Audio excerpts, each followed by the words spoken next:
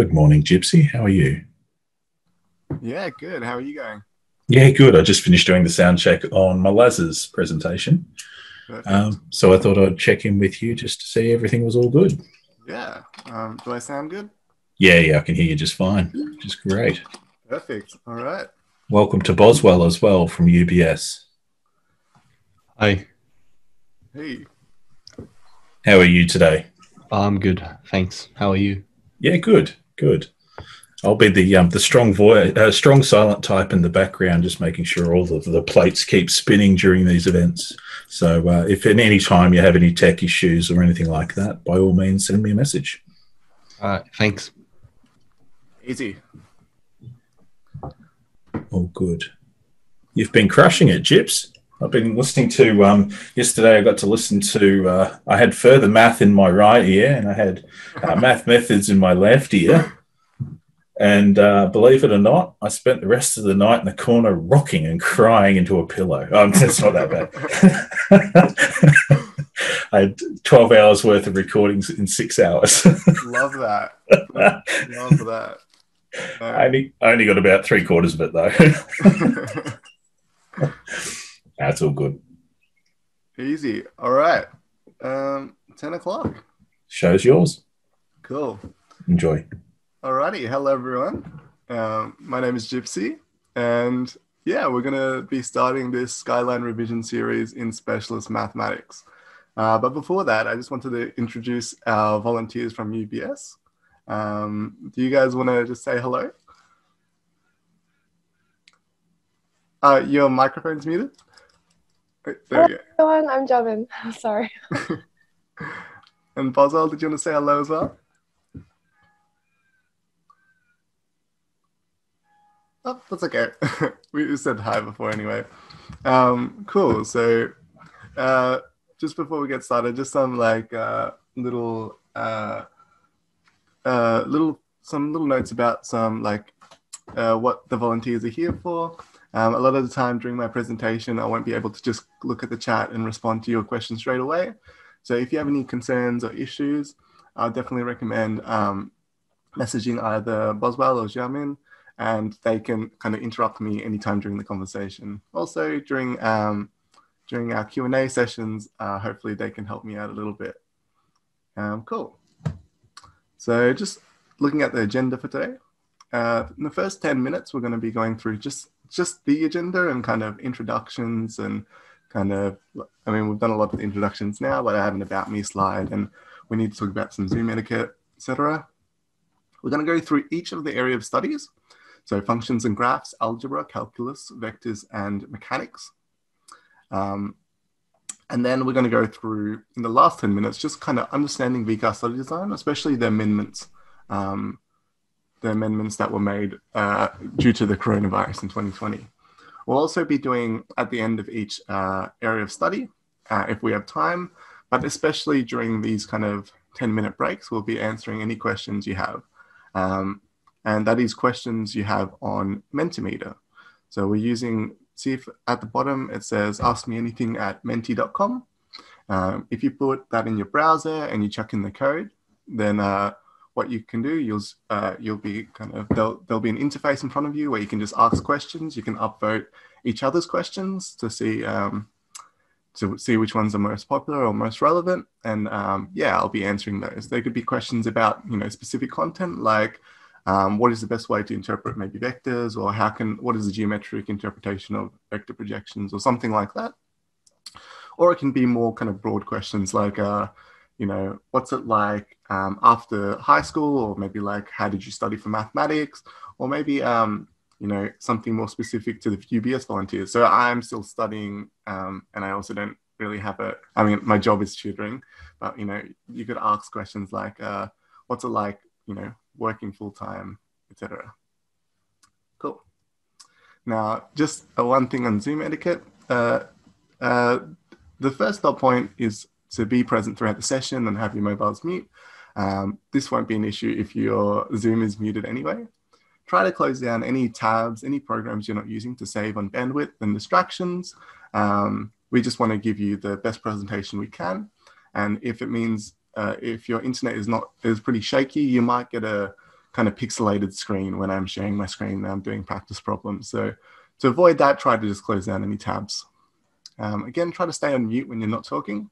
Uh, that just helps the flow of the presentation. Um, keep your video turned off. This is just because uh, of that second dot point. We want to kind of save on bandwidth. We don't want anyone to have a bad time. Um, and again, use Mentimeter to ask questions. So this is at the bottom, ask me anything at menti.com. Perfect. So I just wanted to start uh, by uh, introducing myself a little bit. I was actually a former Skyline student from Northern Bay College, Corio. So that's in Geelong. Um, Skyline came to Geelong a couple of years ago and uh, actually was part of the pilot program. Um, I'm studying a Bachelor of Science in Pure Mathematics at the University of Melbourne. So that's within the Mathematics and Statistics faculty, um, but just a bit more specialized. Uh, I kind of really like pure mathematics. Uh, I kind of like maths for the sake of maths rather than its applications to science. Um, but if you're more interested, if you're interested in kind of what pure mathematics is or maybe how I interpret it, you can always ask me a question again on Mentimeter. Um, I scored a 45 in methods and a 40 in specialist math. So that's uh, the top two and 8% of the state, respectively. Um, but again, I also studied mathematics at uni for the past two years. So uh, I think that experience maybe supersedes it. Um, I aspire to become an academic someday. So at the moment, I'm uh, lecturing uh, with Skyline, but I'm also lecturing with uh, ATAR Notes. Um, and so I teach specialist math one, two actually at ATAR Notes, but um, with Skyline, I also teach three, four. And that's why I'm doing this presentation today. Uh, I'm really in, I mean, in terms of my hobbies, I'm really into playing guitar and playing the bass guitar and drums, into that kind of funky sound. Um, I'm also really into philosophy, and I kind of uh, use philosophy and mathematics very, uh, I mean, uh, they, they link very much to each other, especially when we get to high level mathematics. Uh, but yeah, this just an interesting fact at the bottom. Despite loving maths, I don't really like the sciences, so I'm not really into physics or bio or chemistry, um, which is maybe for, to a high school student uh, really surprising. Um, but yeah, cool. Uh, and this picture on the bottom right is just after my exams um, for, I mean, you guys, I guess you could call it schoolies. Um, I, asked, I mean, my friend uh, traveled Indonesia. And so this is us in the Sumatran rainforest um, in Bukit Lawang. Um, yeah, and I guess just one more thing I just wanted to say is uh, I graduated two years ago, 2018. So um, all this knowledge is still fresh. Um, yeah, hopefully I can answer a lot of these uh, specific VCE questions. Um, again, just before I start, I just want to acknowledge the traditional custodians of the land we are gathered on today. I pay my respects to the elders, past and present, where they hold the memories, the traditions, the culture, and hopes of Aboriginal and Torres Strait Islander peoples across the nation. Alrighty, so we're going to move on to our first area study, but um, there's just one more thing I wanted to mention before we get into the content. The way I'm structuring this presentation will be a revision of each area of study, but not a comprehensive revision of each area of study. So I won't be going through every single dot point in the study design, um, I'll touch on what that means if you don't know it um, at the end of the presentation. But i have picked out, you know, what I think is maybe the uh, the things students struggle with the most, slash you maybe the things that appear in the exam the most. So, I mean, as you can see for area study one, I'm going through rational functions and trigonometric formulas. Um, and this revision session will be centered around um, the first exam. That doesn't mean it's not applicable for the second exam, but um, the way uh, you kind of write your way you set up your uh, questions, the way you use your theory in the first exam is almost identical to the, um, to the second exam, except, except for the second exam, you've got your calculator. Um, now, it's a bit hard to share my calculator and stuff like that over the screen. I don't have the programs and stuff like that. And also, um, I do think that focusing on exam one, especially, um, can teach you a lot about the exam. Um, one other thing I wanted to say. So um, if you came to my methods uh, presentation yesterday, you would have saw that at the bottom left. Um, so if we look at a sample example question, exam question, at the bottom left, I sometimes said, you know, only 16% of the state got it right, only 8% of the state got it right. Now, I haven't done that with this presentation. It's a it's a bit different. So like um, some of the some of the um, some of the questions I'll be doing are very, very hard. So there's a, a question, for example, when we talk about um, calculus that only about 8% of the state got right, or maybe even 2% or something like that.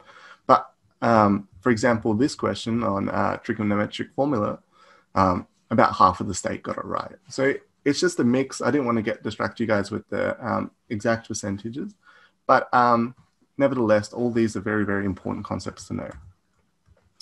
All right, so that brings me um, to the start of the first area of study, functions and graphs. We'll begin our mathematical endeavor with an introduction to the rational function. And this is a function of the form p of x is equal to f of x over g of x. Now, I could be a bit more rigorous and say that f of x and g of x are actually polynomials. And we can say it's defined when g of x is not equal to zero. And hopefully that's, um, that feels really natural to you guys. We don't want the denominator, denominator, we don't want to divide by zero. Cool. Now in specialists, we're, we're expected to understand how to graph these functions. But luckily, we can tackle these using a very formulaic approach. Now, what I mean by formulaic is a lot of times, um, especially uh, when you're doing high level mathematics, so specialist, maybe the harder bit of methods, it may, maybe it feels like that you have to have a spark of inspiration to be able to do a question. Maybe, you know, sometimes we call it intuition. Um, and every anytime we don't need an intuition, which is most of the time actually, it's it's very very um, beneficial for us because we can tackle the, each question the same way every time.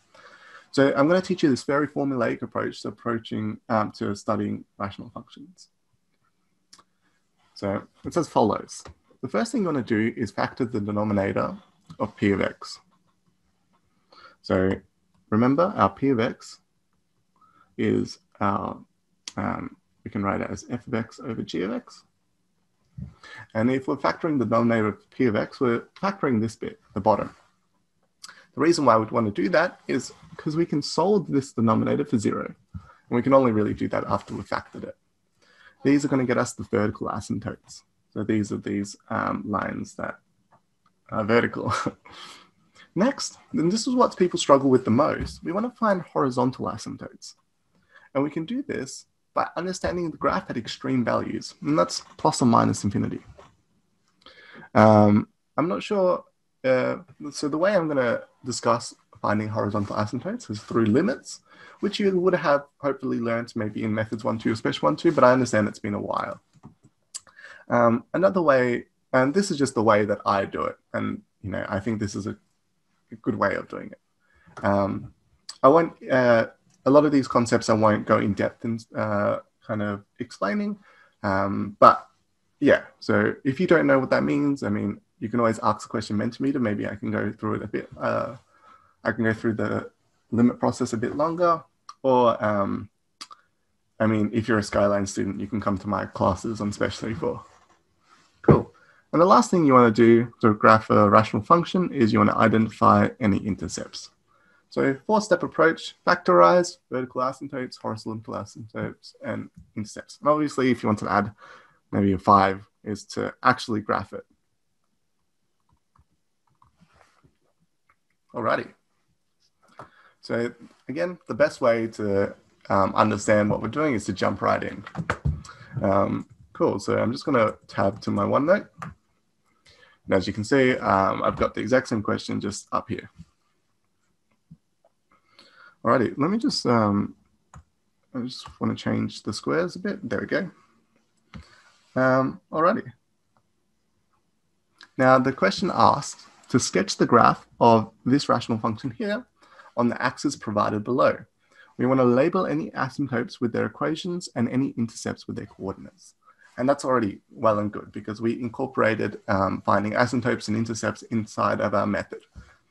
Now, the first thing I actually want to notice, uh, want to want to point out before we get into the solution, is this is worth four marks. Now, that's a lot of marks when it comes to an exam one question. So if you have the ability to sketch these graphs, um, it, it, it, will pay off.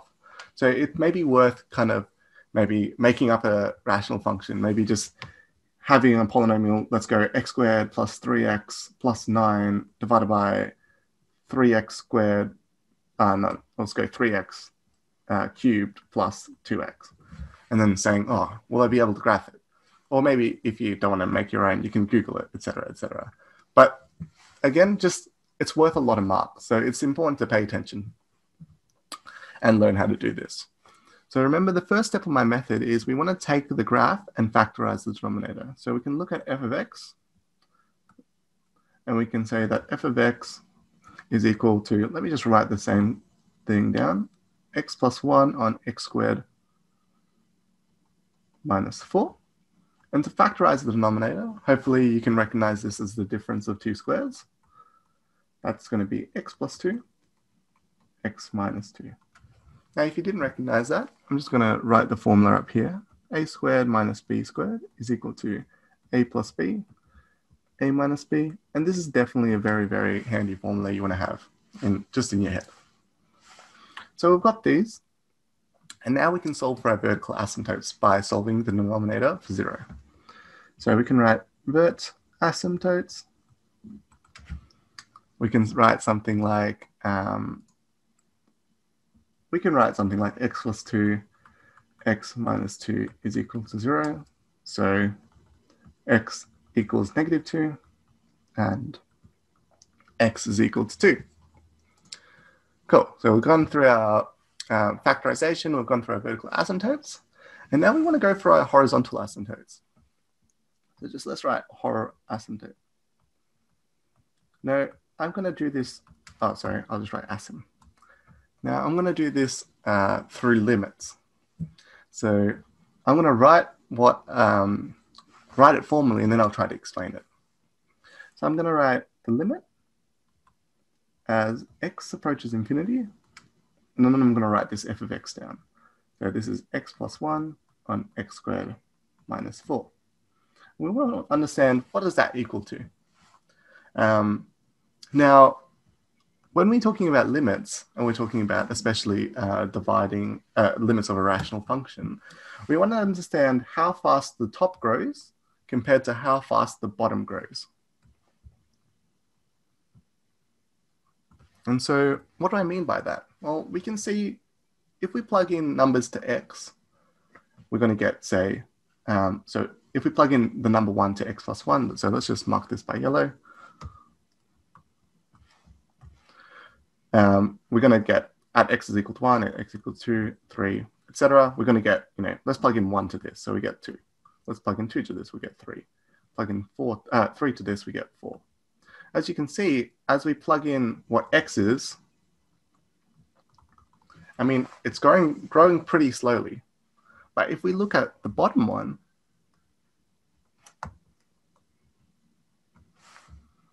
um, let's chuck in x squared minus 4. I mean, at the start, x squared minus 4, that's negative 3.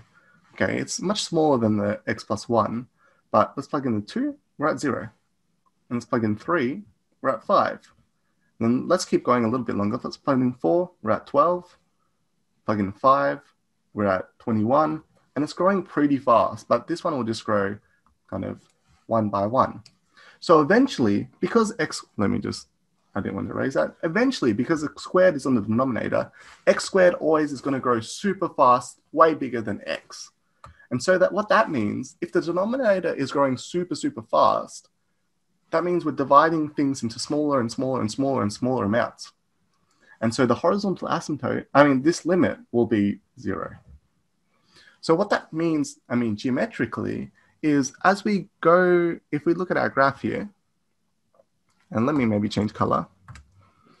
Um, we don't know if it's coming from the bottom or the, the top, but it's always going to approach zero. It's going to get smaller and smaller and smaller until it gets to zero. Now, now I kind of drew this table out. Let me just rub that out. But the way I think is, um, the way I think now, I mean, in general, is I look at x squared and I look at x and I'm thinking x squared is always going to be kind of bigger than x. Um, so this is going to be zero. So I know this is a tough topic, um, limits, even though um, we were supposed to have learned it maybe in year 11. But um, yeah, I think it's worth kind of revising. In the same way, if we look at the limit as x approaches negative infinity, we're also, um, of this function here, we're also going to get zero. And so that means we've got this asymptote at y is equal to zero. Um, so while we have all these asymptotes, let's try to put them in. So this is this first asymptote. That's going to be our y is equal to zero. We can plug in our asymptotes at plus or minus two.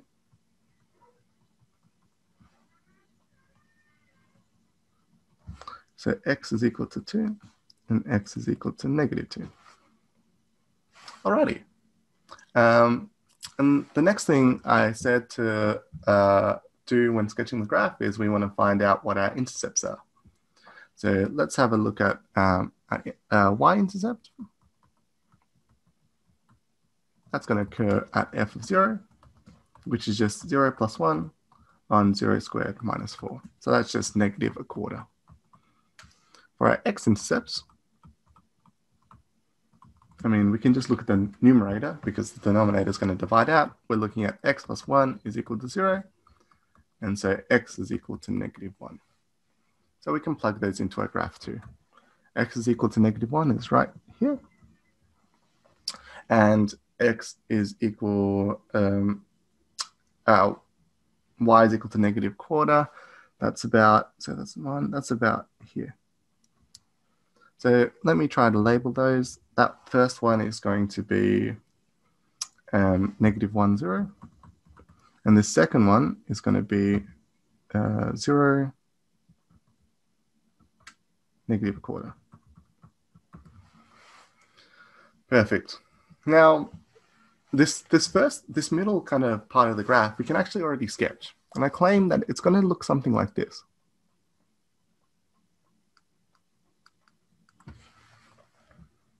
We know it has to pass through those um, two points. And since we have those asymptotes there, they have to kind of um, they have to kind of hug the asymptotes at some point. And so we kind of have it kind of uh, it hugs them on the ends. Now, the next, the last thing we want to do. So I kind of didn't put this um, in the uh, in the methodology because sometimes it's a bit different. But we can see that we haven't filled in this section or this section, or it could be this section, or it could be this section. We haven't filled in those sections. And to fill in those sections, we have to find out, well, uh, we like we have to find out which section the graph is actually in. So um, I'm going to, uh, I claim that the graph can only be in either this section or this section uh, on the left-hand side, or it can be on this section or this section in the right-hand side.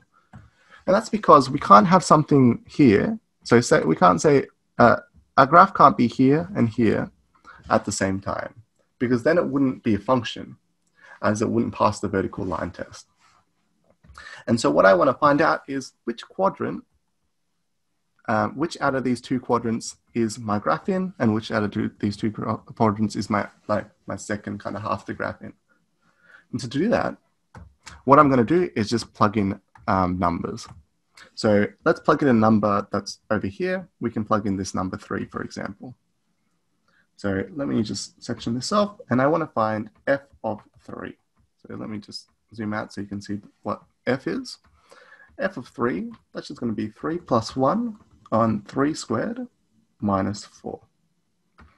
And all we need to know is, is that going to be a positive number or a negative number? And um, I think it's pretty easy to see that this is just going to be a positive number.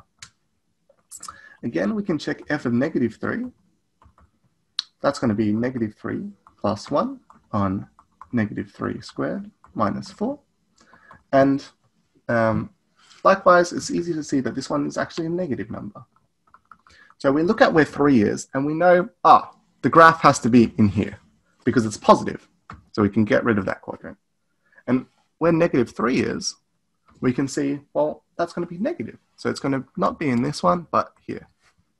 And finally, to finish off our graph, we can just draw it hugging um, the asymptotes. So it's going to look like this.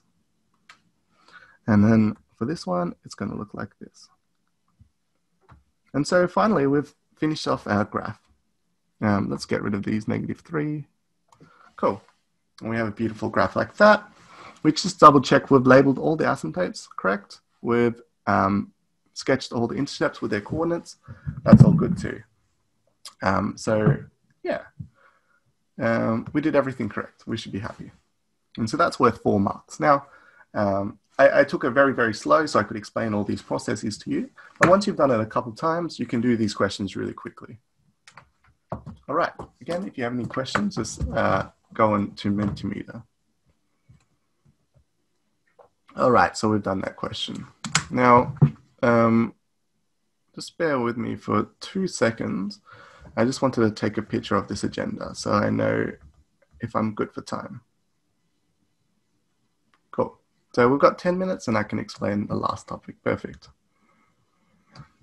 So we've gone through graphing rational functions and now we're going to be talking about um, the trigonometric formulae. Now, again, I've skipped a lot of things. For example, you need to know how to graph the secant function, cosecant function, cot, tan inverse, sine inverse. Um, but just for the sake of time today, and I wanted to get a well-rounded presentation, um, I've omitted those sections. So the next thing I'll cover is making sure we're familiar with different trigonometric formulae and how to use them. See below is an excerpt of the formula sheet for specialist mathematics. Now, it's got a lot of great formula, so you should use them. Uh, that doesn't mean you should memorize them because they're already here, but we should know how to use them. For example, you know, if we get a weird um, angle, we should know that maybe we can decompose it into its constituent parts. Maybe we can say it's x plus y um, or x minus y. Now, this might be, uh, I'm not sure if uh, how much you guys have done um, using our kind of addition and subtraction angle formulas. But we can have a go at looking at pi on 12. And can we write that as uh, angle we know subtract an angle we know? For sure. Um, and if you know what the answer to this one is, um, yeah, you can post it in the comments or you can, I don't know, you should, you should be able to recognize these things. Um, and if you don't, just have a practice. Now, we've got um, so we've got these this section which is full of yep that's precisely right ryan. We've got this pi and 3 minus pi and 4 now uh, we've got that whole section that's just full of what we call our compound angle formula or let's actually call it addition slash uh, subtraction angles. Angle formula um, at the bottom here, we've got our double angles. Oops.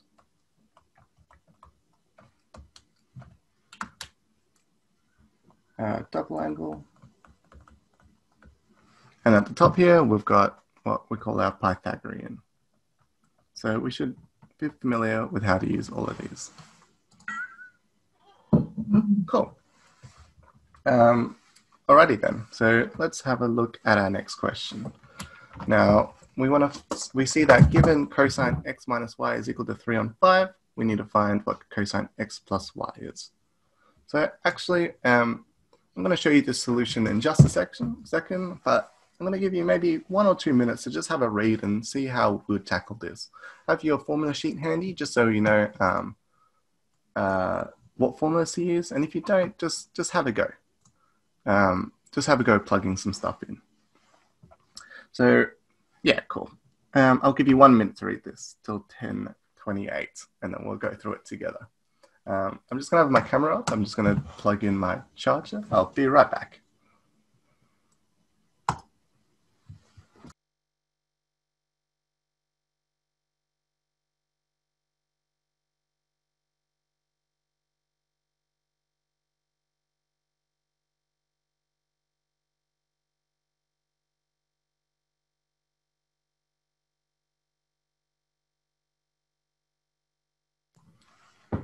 All right, cool. Um, perfect, I'm back, and it's 1028. So hopefully you've had a read of this quickly, had a read of um, what the formulas are, and hopefully maybe you have in your mind what you would do in, during the exam. I'll tell you what I'll do. I, I'm going to do. It might not be the most efficient solution, but it kind of maybe will show you um, the process in which I'm thinking. So the first thing I see is this cosine x minus y is equal to 3 on 5. And what I want to do with that information is somehow um, I want to get that into more manageable information so I can find what cosine of x plus y is. So um, actually what, what might be um, uh, useful is what is actually cosine x plus y. So let's write that down. Cosine x plus y. And we can actually go straight through to our formula sheet and write down what it is. So that's just going to be cosine x, cosine y, minus sine x, sine y. All right, perfect. So we know what this is, and we need to find something about this cosine x, cosine y, and we need to find something about this sine x, sine y. Right, so let's see if this cosine x minus y will help us. Cosine x minus y is equal to cosine x cosine y plus sine x sine y. We know that's equal to 3 on 5.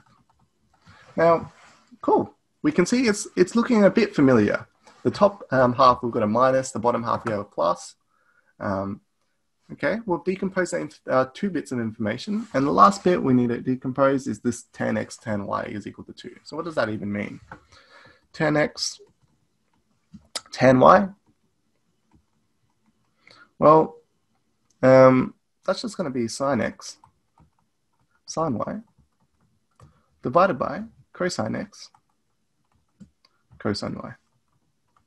And that's going to be equal to 2. So what this is actually telling us is, so this just implies that sine x sine y is equal to 2 cosine x cosine y. Cool. And um, we wanted to find, well, we wanted to find either sine x or sine y, but I'm going to write um, cosine x cosine y is equal to half sine x sine y. All right, easy. And so if we look back at this um, formula, uh, this equation, which I'll call number one, we can say we can now write that as cosine x. Uh, well, let's not write it cosine x. Instead of writing cosine x, we can write now this half sine x sine y.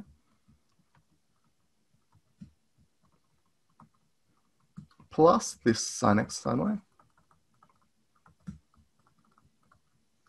is equal to, well, 3 on 5. Um, we can, this just means now a half plus a 1, that's just going to be 3 on 2.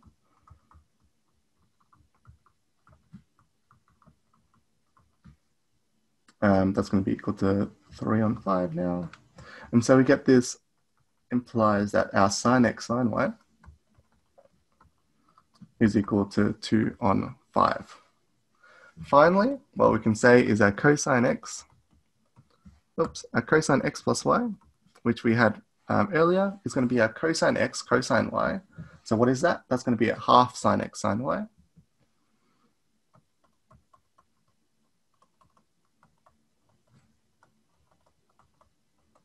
minus sine x sine y. And that's just going to be 1 half multiplied by this 2 fifths that we found minus, well, 2 fifths. And we get here negative 1 fifth as our final answer. Now, I've kind of gone uh, um, a little bit out of space, but as you can see, I've been skipping a lot of lines. So hopefully in the, in the exam, you have plenty of space. And if you don't, I mean, I think, um, yeah, I mean, I, I think you will. So that shouldn't be a problem. All right, so we've gone through trigonometry. And that brings us to 1032. Okay, so we've gone a little bit over. but That's okay. Um, oh, no, we haven't gone a bit over. We have a couple minutes, 1032. Um, we have three minutes to answer maybe some questions we've had on Mentimeter. All right. So let's look if we've gotten any questions, specialist.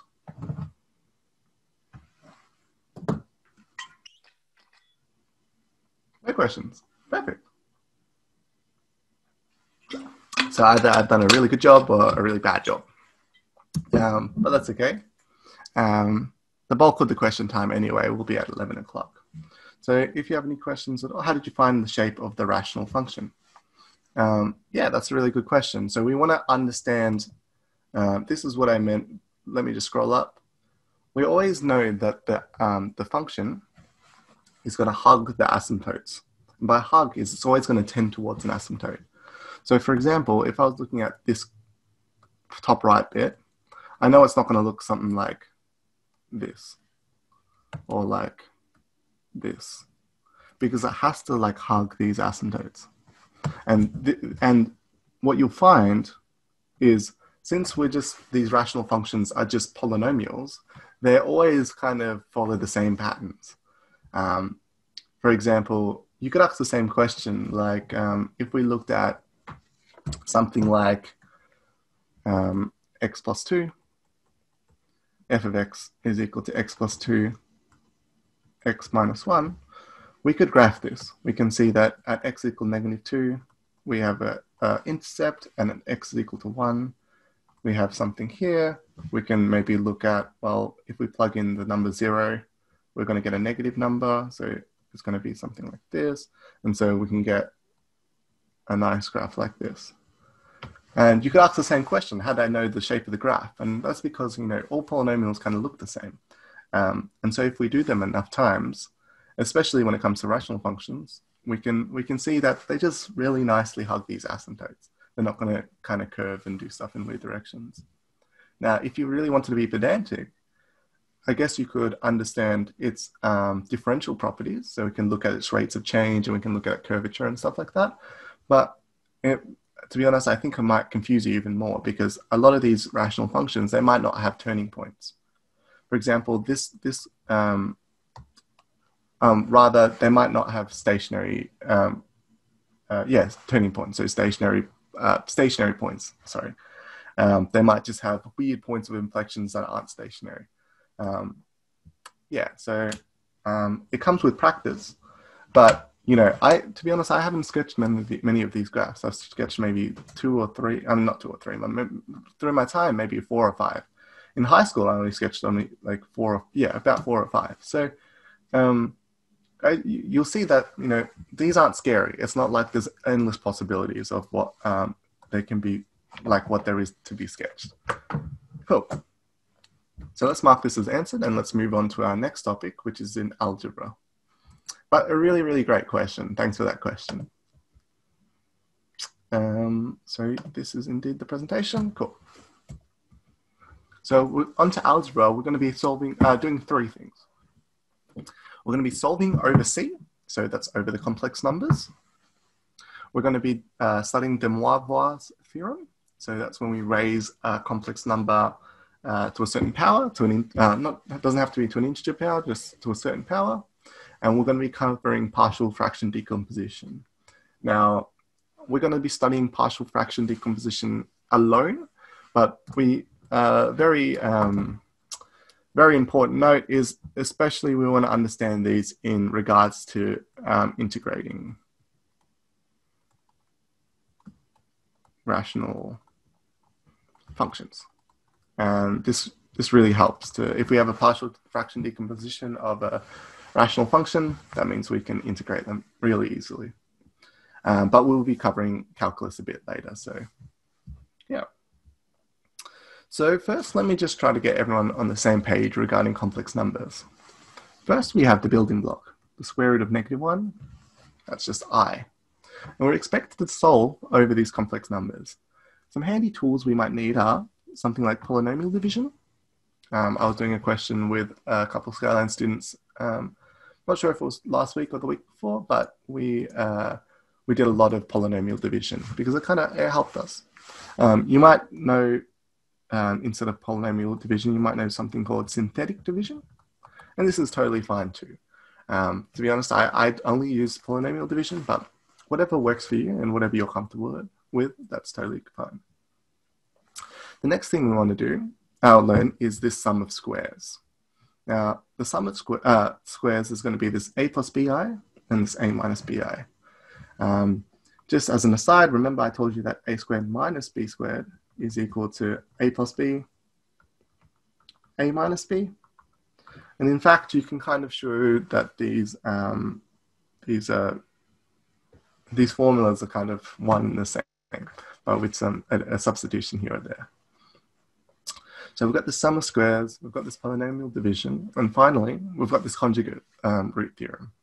You might not know it by its name, but it just says that if p of x has rational coefficients and a root a plus bi, then a minus bi is a root. So for example, these are px's in the form of something like 3x squared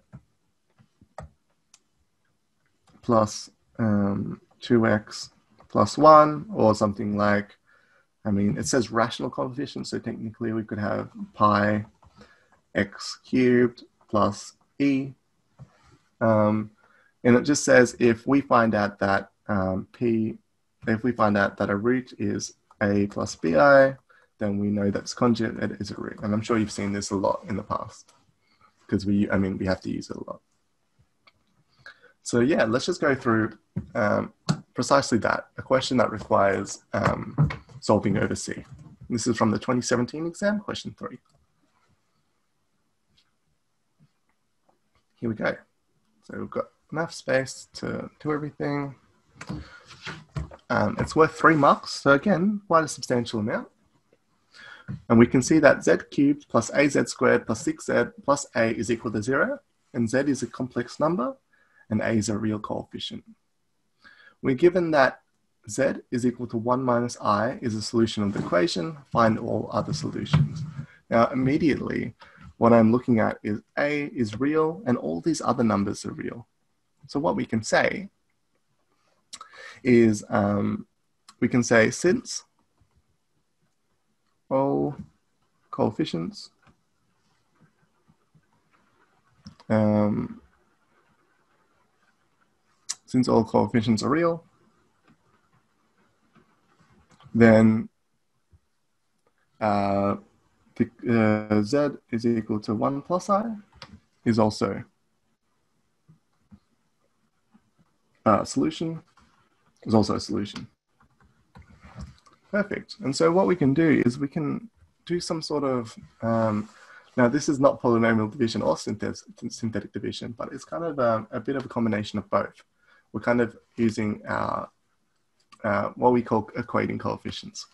So I can write, so the z cubed plus az squared plus 6z plus a, we can rewrite that as, well, the first root, the second and, well, it's a cubic equation, so it has three roots, and we can just claim this arbitrary root is, well, z plus k. And we don't know what k is yet, but we know it's going to have another root because it's a cubic equation. We can, you know, use the, we can expand this. It's not quite going to be the difference of two squares, but we can say that this is just going to be z squared minus 1 minus i z minus 1 plus i z um, plus, now this is going to be, well, I'll write 1 plus i 1 minus i, but as you can see, this is just going to be the sum of two squares. And then we've got the z plus k on the side.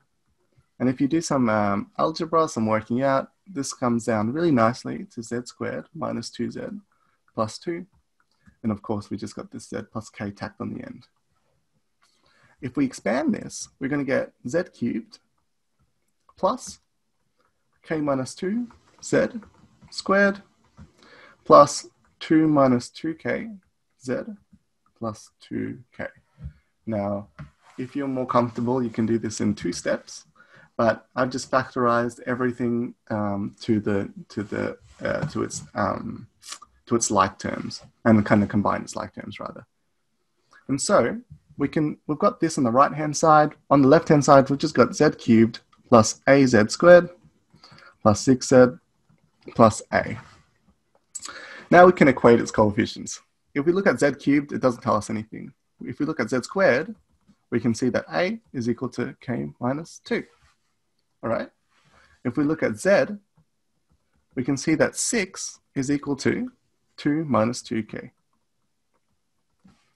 And so that means um, 2k is equal to 2 minus 6.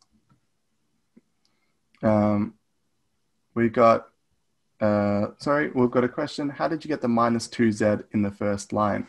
That's a really great question, Ryan. So we've got this, um, we can see that the i's cancel out. So this minus and a minus, um, this becomes a plus, and this minus and plus becomes a minus. So the i's cancel out.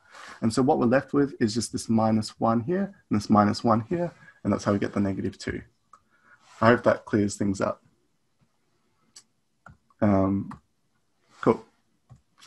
Now, we um, following on, looking at the z, we got the 6 is equal to 2 minus 2k, and this 2k is equal to uh, 2 minus 6, which is equal to negative 4. And so we've got this 2k is equal to neg negative 4, and so that we've got k is equal to negative 2. And so finally, we can plug that in back to this a, and if k is negative 2, that means a is equal to negative 4. Um, we didn't quite have to find what a is, um, but now we know all these solutions, all the roots, all, all the solutions rather. So we can write solutions are, we've got the first one, which is z minus, uh, z is equal to 1 minus i, which they gave us. We've got its conjugate, z is equal to 1 plus i.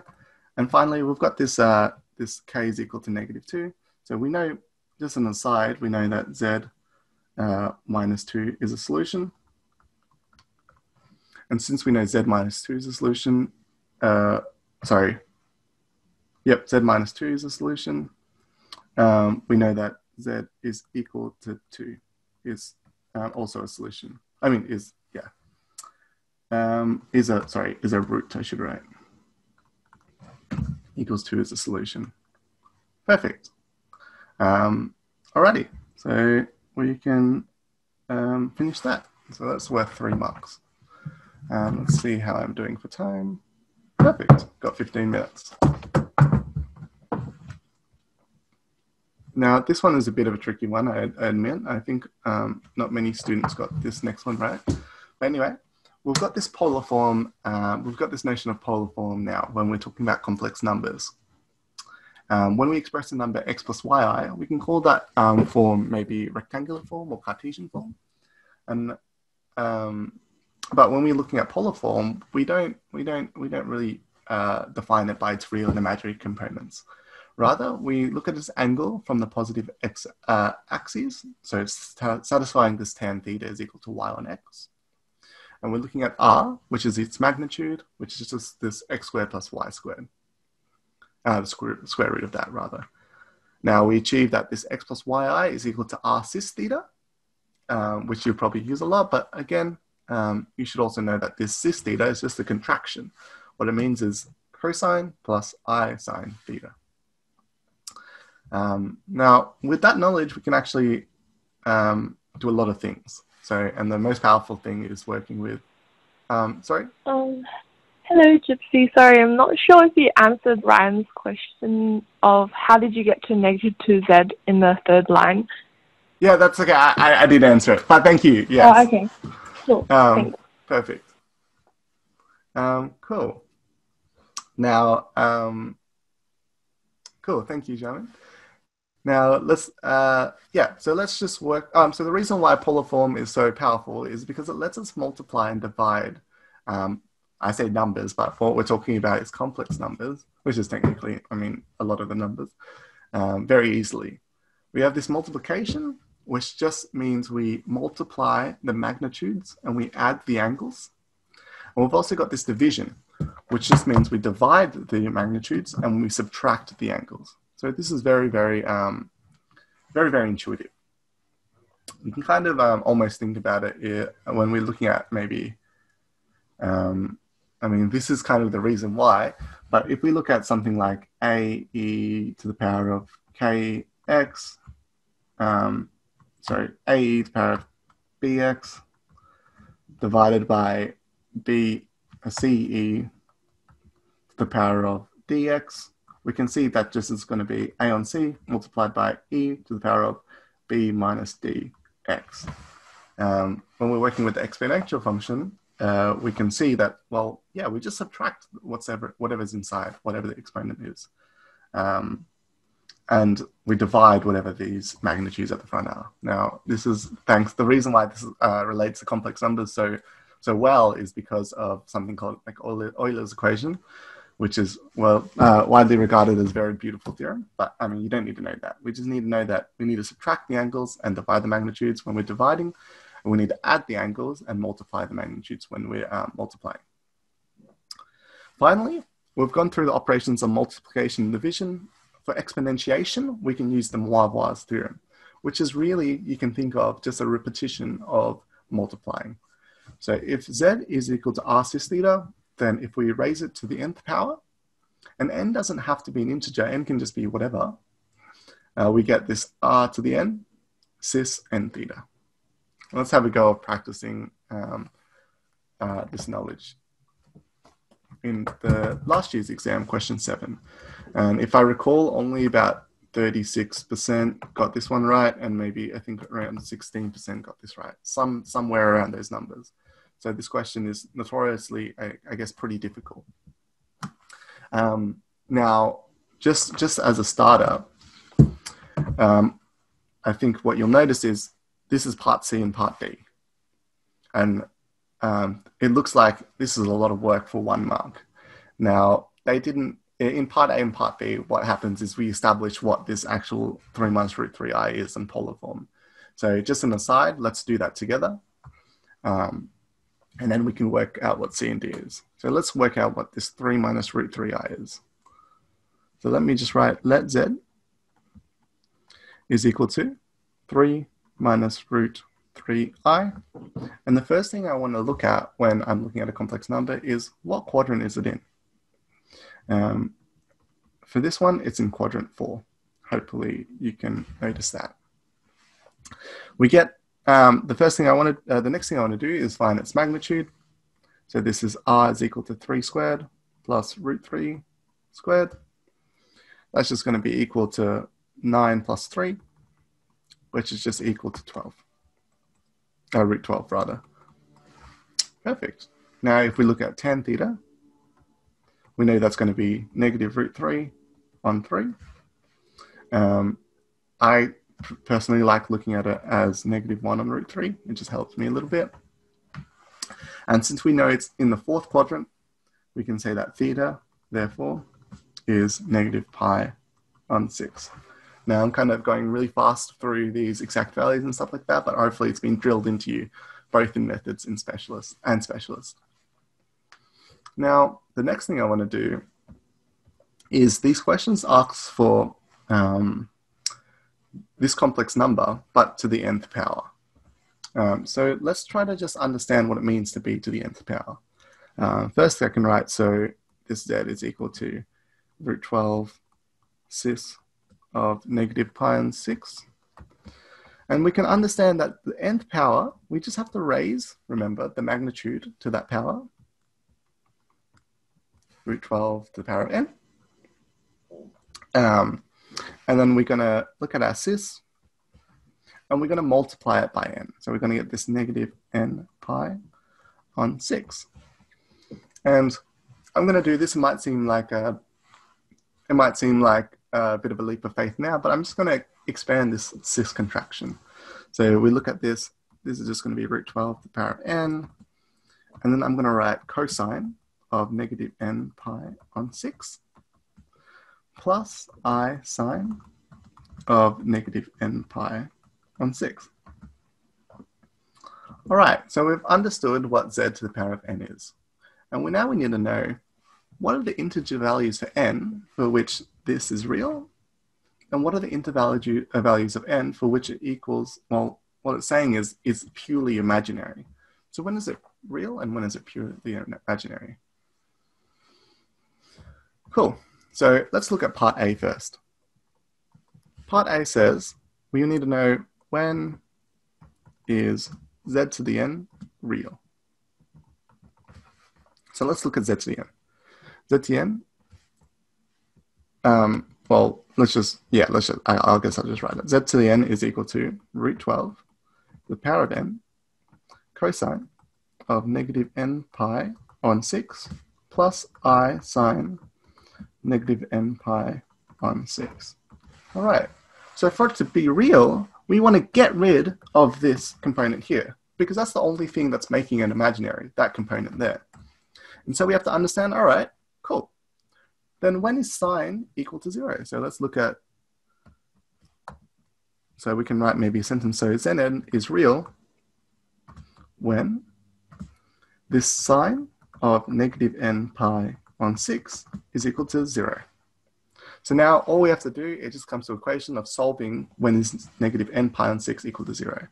And hopefully you should know that it's going to be multiples of pi.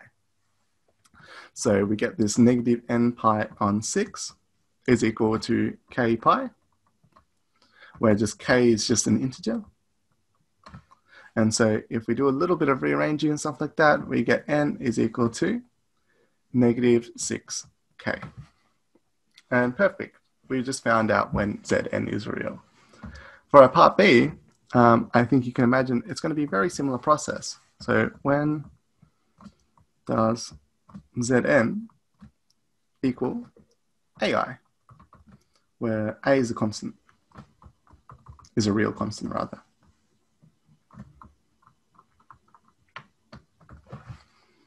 So now, if we look at Zn, um, if we look at, let's just, yeah, let's just write again, Zn is equal to root 12 to the power of n cosine of negative n pi on 6 plus i sine of negative n pi on 6. If we look at this now, now we just want the imaginary part, so we want to cross out this one here. So that's just going to be when, um, so let me just skip a little bit. We just want to solve this cosine of negative n pi on 6 is equal to 0. And so this is going to be at multiples of um, pi on 2. Um, yep, pi on 2, not quite multiples of pi on 2, but it's going to be something like negative n pi on 6 is equal to pi on 2, and then we can always add pi to get to the other um, reflection. So it's going to be add pi k. And if you do a little bit of arithmetic, you're going to get this n is equal to negative outside of 3 plus 6k. And yeah, this is precisely it. Now, again, not many students got this right. And so if you did get this correct, you're looking at, you know, over 40, um, over 38 at least. Um, and really, it's not too hard. It's just really understanding, and this is what something a lot of students don't understand, is that this cis actually does just mean this cosine plus i sine. So hopefully, if we get something like this on your exam, you'll be able to do it. Cool. Now, we've got a couple more minutes. We've got this four more minutes, and I don't think I'll be able to do this whole um, partial fraction decomposition, but I can at least talk about partial fractions for a little bit. So the last thing on today's agenda is making sure we have a good understanding of partial fractions. So partial fractions, like I said um, a bit earlier in the presentation, are used to decompose rational functions, or rational fractions rather, into components that are easily integrable. So if we look at this x squared minus 3 divided by x squared plus 2, x minus 1, we can see that it's easily, I mean, we get this really nice right-hand side. We can use um, now I'm, kind of giving away the last, like the um, middle of our presentation, but we can use, I mean, u substitution here. And then we can, here we can just use the log to integrate. Um, note, the reason why we want to decompose them is because the left-hand side is much, much harder to integrate than the right-hand side. I'm not even sure you could do it directly. So yeah, cool. Um, now let's just have a revision on the rules to actually perform the partial fraction decomposition, we must know what factors in the denominator corresponds to which components. So if we have a linear factor just by itself, we can just get this easily a on ax plus b. Now, if we have a repeated factor, we have to have it's the whole repeated factor, but all the ones, um, all the factors below it too. So we've got this long formula here. But really what that means is what we're looking at um, say, for example, if we had ax plus b squared and we had something, so like this x and ax b plus b, ax plus b squared, we're just looking at a on ax plus b plus b on ax plus b squared. So we're decomposing it, each of these uh, repeated factors. And finally, if we have an irreducible, and it's usually just going to be a quadratic, so I've only kind of wrote that in here. We've got this, uh, we've got this fraction here. So we'll have to have this ax plus b. We can't just have constants. Cool. Now, for this next question, it's actually a verify question, so we didn't actually have to find its um, partial fraction decomposition, but I, I kind of wanted to do it. But um, we've we've run out of time, so maybe maybe at the end of the presentation, if we have a bit of extra time, we'll do it. If not, um, have a go at doing this question. This is from the 2019 exam, question seven. Um, yeah, you just need to verify that this. Now, ordinarily with a verify question, you don't want to just find a decomposition because it'll take too long. What you want to do rather is we look at this right hand side and we just want to put it over the same denominator and we can hopefully see that it'll be exactly equal to that one. Um, but yeah, I mean, for now, let's take a question and break time. Let's look at Mentimeter, see if we have anything, uh, any questions there. Remember, there could be questions about procrastination or about study or about anything, hobbies or um, uni life or had what you know how, what was like when you got an ATAR, etc., etc. Um, so yeah, uh, make sure you if you need anything, ask. Cool. Um, so we're gonna just just before I start answering questions, we're gonna be doing this from 11 o'clock to 11:10, and then we're gonna come back with the study of calculus. Um, cool.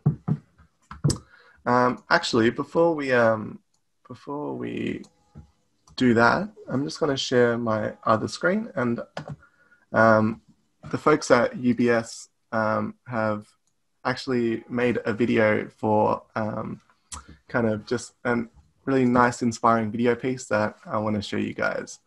So um, just bear with me as I just share my screen. So share my screen. You'll see, and you might recognize this face a little bit. Um, whoops, I'm not sure if I um, enabled audio. Yep, share computer sound, cool.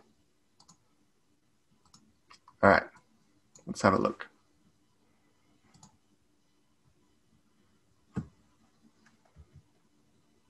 Hello, Skyline students. I'm Jamin and I work in the investment bank technology sector at UBS. My work involves software programming and helping with business analysis.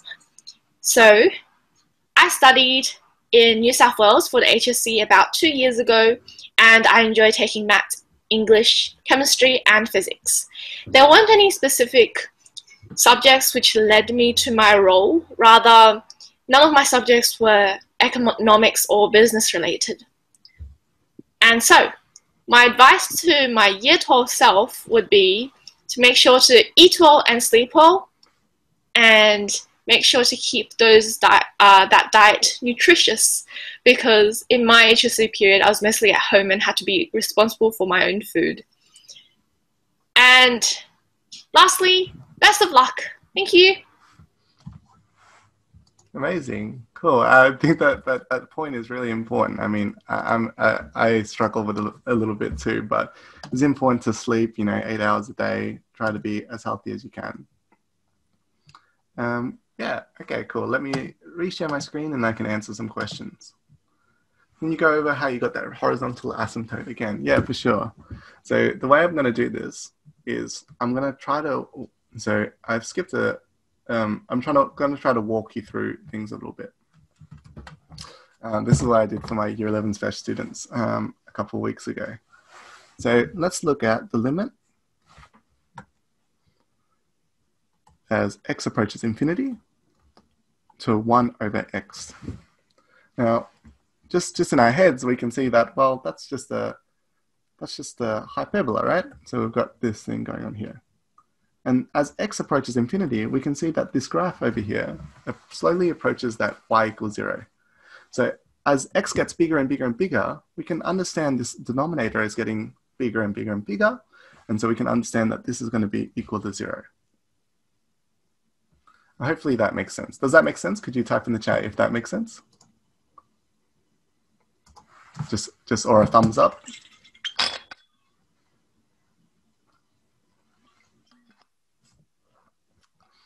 Okay, maybe it didn't make sense again. Um, that's okay. So uh, we're looking, let me just try to explain it one more time. And if, if it doesn't make sense, maybe after watching the recording again, um, something will click. So we're looking at what happens when x gets really, really big. And so that's what it means to approach infinity, getting really, really big. Uh, thank you, Rico, for the thumbs up. Um, so when x gets really, really big, well, let's think of a big number. Let's think of maybe a thousand. So when x is a thousand, we can look at one over a thousand. We think, oh, that's a, that's a pretty small number. That's zero point zero zero uh. Uh, I'm not sure, something like that, right? Okay, that's a that's a pretty big number. I can I can I can roll with that. What about when x is even small, uh, even bigger? Because we're trying to approach x to infinity. So what about x divided by you know even more and more zeros? We get the zero point zero zero zero zero zero zero zero one. And eventually, when we think of this notion of infinity, it's going to all the way, um, eventually, it's going to disappear to zero. And so that's why we have this actually an asymptote at, for this hyperbola, because eventually it's going to approach zero. Now, this is very like, um, this is very um, useful regarding um, the thing we talked about before, is because when we compare something like well, let's try to compare something like x on x squared. That's exactly what we were doing um, before. We can see that, well, this is kind of like 1 on x. And so as this approaches infinity, well, I mean, as this approaches 0, as x approaches infinity.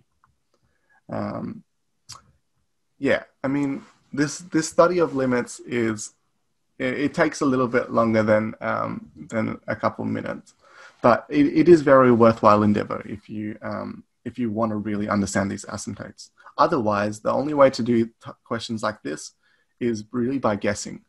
So I really do um, do think you should. I mean, yeah, you have a couple like a month until the exam. I think you can definitely smash out understanding limits in a couple hours. And especially if you're a Skyline student, if you come to my Spec 3 4 or my Spec 1 2 classes, we can definitely go through it in a very, very gory detail. Cool.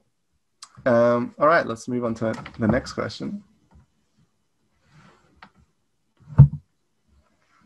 For the question we did for the topic solving over C, solving a K for K was a must, right? Yeah. So um, solving for K was actually what the question was asking. They wanted to find what that third root was. Now, another way you could find K is we could take our quadratic that we found. So let's have a look at that quadratic we found. Um, when did we do it? See this quadratic here, this z squared plus 2z plus uh, z squared minus 2z plus 2. What we could do is we could take this um, function of a's and we could divide it by this. And then hopefully we would have got this nice z plus k. But um, yeah, I mean, I think the polynomial division would have taken a bit longer. But if you're more comfortable with that, you can do that too. For the complex number, why did you choose the imaginary part to determine when Zn is real? Yeah, good, good question. So let's look at when Zn is real. I, I took this cross, I wanted to cross out the imaginary part. Now, it, it doesn't really matter what the real part is, but we don't want that imaginary part. And so we can see that Zn is real when this imaginary part, this sine negative n pi on 6, is zero. We have, uh, ironically or counterintuitively, to understand when it's real, we have to understand, uh, we have to know when it's uh, when it's not imaginary, I guess you can say. Um, and so that's why I did that. Cool. Yeah, so it's a good question. So we look at the de Moivre. So this is, I thought we'd get this question. Now, remember, um, sorry, let me read the question just in case no one saw it. Um, you got a negative, but the examination report answer is positive. Now, remember, k can be any integer. So k I defined as just an integer. So let's just take another constant, for example. Let's say that uh, we've got this k2. k2 is just an integer, but we define k2 by negative k. And so we get this n is equal to negative 6. Um, and rather, we can define, sorry, we can say this k is equal to negative k2 because k can be any integer and k2 can be any integer. We can just play around with the negatives a little bit. And so what happens is this n is equal to, well, just 6k2. Now, uh, and that might be a little bit confusing, but this, these negatives don't really mean anything because of k can be anything. Um, yeah.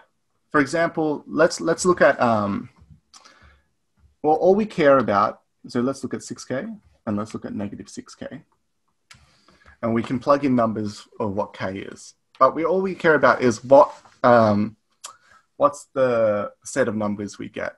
So what this is actually saying, rather, is 6k is the multiples of 6. So when we think of multiple sixes, we can say like 6, 12, 18, but we can also say 0 or negative 6, etc. So what are the multiples of 6? 6, 12, 8, you know, you can count. We've been doing this since high school, uh, since primary school. And what this is saying is what are the multiples of negative 6? And hopefully you can see that, well, okay, negative 6, negative 12. But actually 0 and 6 and 12 are also multiples of negative 6. So we can see that these two are equivalent. And so it, the examination report showed one way, maybe because it's a bit more pretty when we don't see that negative, but either way is definitely correct. Can you go back to the intro slide with the definition of the conjugate root theorem? Yes. Um, it could be that I, I think I know where you're getting at. I think I might have made a mistake.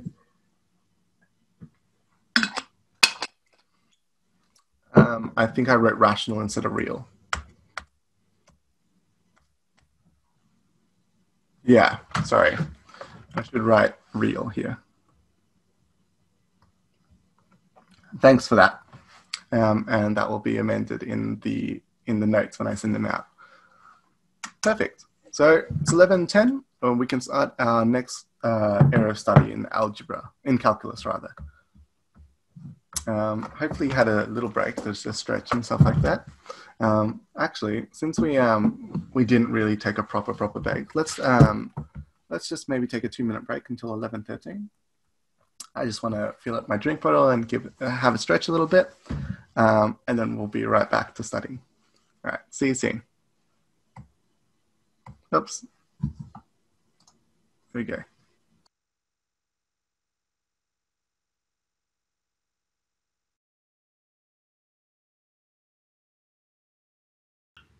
Hi, my name is Michael Bevilacqua. I'm an analyst within the consumer products and retail team at UBS. Um, I ended up at UBS after studying a double degree of commerce and law. Um, and the two subjects that I probably enjoyed most while I was at school in year 12 were two that I actually didn't end up pursuing at all later on in life, which were literature and chemistry. Um, knowing what I know now, I would say that certainly while uh, your VCE score is important and you should give it all that you've got, it's not going to define your life, and you certainly won't be defined by a number um, if things don't turn out well in the end.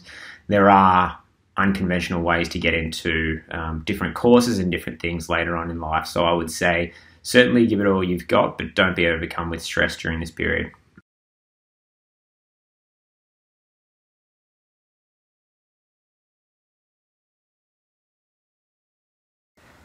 My name's Elise, and I'm a graduate analyst at UBS, working in the metals and mining team. I graduated from school in 2015, and my year 12 subjects were maths, chemistry, English literature, French, history, and biology. The one piece of advice I would give to myself when I was in year 12 is just don't stress too much. You will have worked hard, so just trust yourself, trust your knowledge, and everything will fall into place by the time exams come around.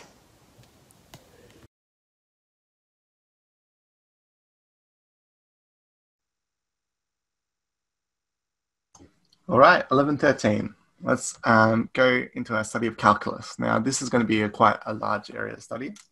And so I've, I've put in a lot of kind of different topics that I want to cover. Um, one being implicit differentiation, U substitution, arc length, solids of revolution. Uh, these are kind of applications. And then we can finish off our area of study with understanding some like uh, the study of different equations. Now, um, a lot of these questions in this topic, only about 2% of the state got right, or 10% or 16%. So these are very, very hard questions, especially this first one on implicit um, differentiation. So please, please, please don't be discouraged. And it's going to be a long process. So um, I mean, in doing this question, it's very, very easy to stuff up. It's worth five marks. Um, anyway, I'll, I'll show you in a sec. So first up on calculus, we'll be revising implicit differentiation. For instance, if we have this formula x squared plus y squared is equal to r squared, um, hopefully you can recognize this is the circle with radius r um, one thing you might want to ask is what is the change in y with respect to the change in x? What is dy dx? And to do this, we'll be using the chain rule, but a little variation, a uh, little, it's a slight variation of the one we're used to maybe in methods. So instead of having this dy dx as the subject, we have this du dx as the subject. And we can use it in the following way. Say if you wanted to find the ddx of y squared, we can say, well, that's the ddy of y squared. So we're just saying um, u is equal to y squared multiplied by dy dx. So we can see that's just 2y dy dx. Now, one way you can think about it is we just have to differentiate it with respect to y and then just tack on a dy dx in the end. Um, perfect. All right, so let's have a go at doing this question which is notoriously very, very hard. So it is the last year's, uh, you might have tried to do it. This is last year's exam, the last question of last year's exam. And I mean, it looks like a mess. We've got sine, we've got cosine, we've got um, roots, we've got uh, implicit differentiation, and we, they even want it in a special form at the end. So let's see, see if we can do this. So we didn't do that partial fraction question, but we're doing this question here. So we want to find dy dx at this point, root, root pi on root 6, and then root pi root 3, for the curve defined by the relation sine x squared plus cosine y squared is equal to 3 root 2 on pi xy. So as you can see, a whole mess. Not many students got this right at all. Um, but it's this. I think this is important uh, lesson. This this uh, question is important lesson in kind of endurance and perseverance. Um, hopefully, and it teaches a lot. Maybe about exact values, about um, trying to be careful with what you write. Anyway, let's just keep on. Let's just try out the question. So first thing I want to do is just let's write the uh, the relation. So we've got the sine of x squared plus this cosine of y squared is equal to 3 root 2 on pi x y. All right, no worries. So the next thing I want to do is I just want to um, is I want to well differentiate everything with respect to x. So we've got a mix of chain rules, we've got a mix of product rules. Now I'm going to assume that you're pretty comfortable with um, your chain rule and your product rule. And so I'm not going to do any substitutions or anything like that, like I did in methods yesterday. But um, yeah, it's important that you really focus because it's quite quite difficult. It's easy to get lost. So if we differentiate this first one, we're going to get 2x cosine of x squared. And if we differentiate the second one, we're going to get 2y negative, oh, well, rather, let's write it a bit nicer, negative 2y sine of y squared. And since we're differentiating a y, we need to tack on this dy dx at the end. Perfect. we've got this 3 root, root 2. We can just take that out as a kind of factor. And then we can differentiate this xy. And this is just going to be, well, the derivative of the first is 1 multiplied by the second is y, plus the first, which is x, multiplied by the derivative of the second, which is just dy dx. Okay, so we've done our first step. Let me just fix that bracket. And already, I think if you got this first step right, maybe that's one or two marks already. So you don't have to stress. The next thing I want to do is move all the dy dx's to the right side and all the like kind of non-dy dx's to the left-hand side. So we've got this 2x cosine, oops, cosine of x squared minus 3 root 2 on pi y is equal to, and we can factor out this dy dx. First, we've got this 2y sine y squared, and second, we've got this plus 3 root 2 on pi x. Now, remember, I'm going through, I'm going it through it quite fast, but hopefully, um, maybe in watching the recording, you can uh, follow along. And uh, also maybe skipping a lot of steps. So um, for me, sometimes I can do the stuff in my head. Maybe for you, you can do more stuff in your head. But um, if you feel like you need to have these intermediate steps, then totally add them in. Now, easily, we can solve for dy dx. That's just going to be, well, we've got this top, 2x cosine of x squared minus 3 root 2 on pi y. Let's just make that a bit nicer. y divided by everything on this bottom one. So 2y sine y squared plus 3 root 2 on pi x. And so we've, we've found dy dx. That's pretty good. We're almost there. But we need to find it at a certain point, and then we need to give it in a form. So already uh, for this dy dx, I think maybe three marks. So we've already gone through three marks. I'm, I'm pretty happy with that. So now we have to add in this point root pi root 6 and root pi root 3. So let's try. This is going to be equal to 2 multiplied by root pi root 6 cosine of let's write it a bit nicer, cosine of pi on 6 minus 3 root 2 on pi multiplied by root pi on root 3. Okay, numerator is all done. For the denominator, we've got 2 multiplied by root pi on root 3 sine of pi on 3 minus 3 root 2 on pi multiplied by root pi on root 6. Okay, so now we've, we've plugged everything in. So technically this is the answer. So I think from here we've already got four marks. And so for that last tiny little mark, we need to get it in the correct form. So how are we going to do this? First, what I would do is I want to evaluate what these kind of trigonometric, um, we want to use our exact values to evaluate what cosine pi on 6 is and sine pi on 3. So we can write this is equal to 2 root pi on root 6.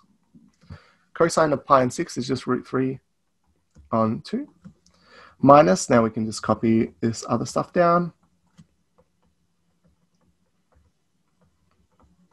Divided by, then we can copy this stuff down. Sine pi on 3, well, weirdly, that's root 3 on 2 as well. Minus, um, sorry, did I, did I make an error there? So this should be a plus, I think. Um, cool. Plus 3 root 2 on pi dot root pi on root 6. Um, okay, now I'm just a bit scared I made a sign error. So let's double check. So this is a plus, the plus is at the bottom, sine pi and 3, plus, everything's plussed. Bottom, everything's plussed. Cool. Now if I made, if you feel like I made a sign error somewhere, just, just make sure you tell me as soon as you can. because we don't want to be making any any uh, any wrong moves. Now, finally, what we can do is we can cancel a lot of stuff out. So for example, this two and this two cancel out. And um, yep, two, two cancel out. Again, this two and this two cancels out. Um, you the root pies and stuff like that cancel out as well. So these root pies and root threes in weird ways. And what, what you should end up getting is this root pi. Now I'm going to skip a lot of that because it's going to be a bit messy, but we're going to get root 6 on root pi divided by root pi uh, plus root 3 on root pi. Cool. So here, so that's if you when you cancel out everything, we finally get to this. And again, it's not in that form yet. So obviously we um we we need to do some more. Now, how do I link what I have here to what the form is? The first thing I notice is, well, I need a pi in the top left. And on my form, I have this root pi on root 2. So somehow I want to convert this root pi on root 2 to just a pi. And to do that, we want to times by root pi um, root 2. So as if you times by root pi root 2, then it's just going to turn into a pi. So if we times, so to times, we can't just times the top left by root pi root 2. We have to times the top and the bottom. So we get this pi minus, well, this is going to be just 2 root 3. And on the bottom, we're just going to get um, root 2 pi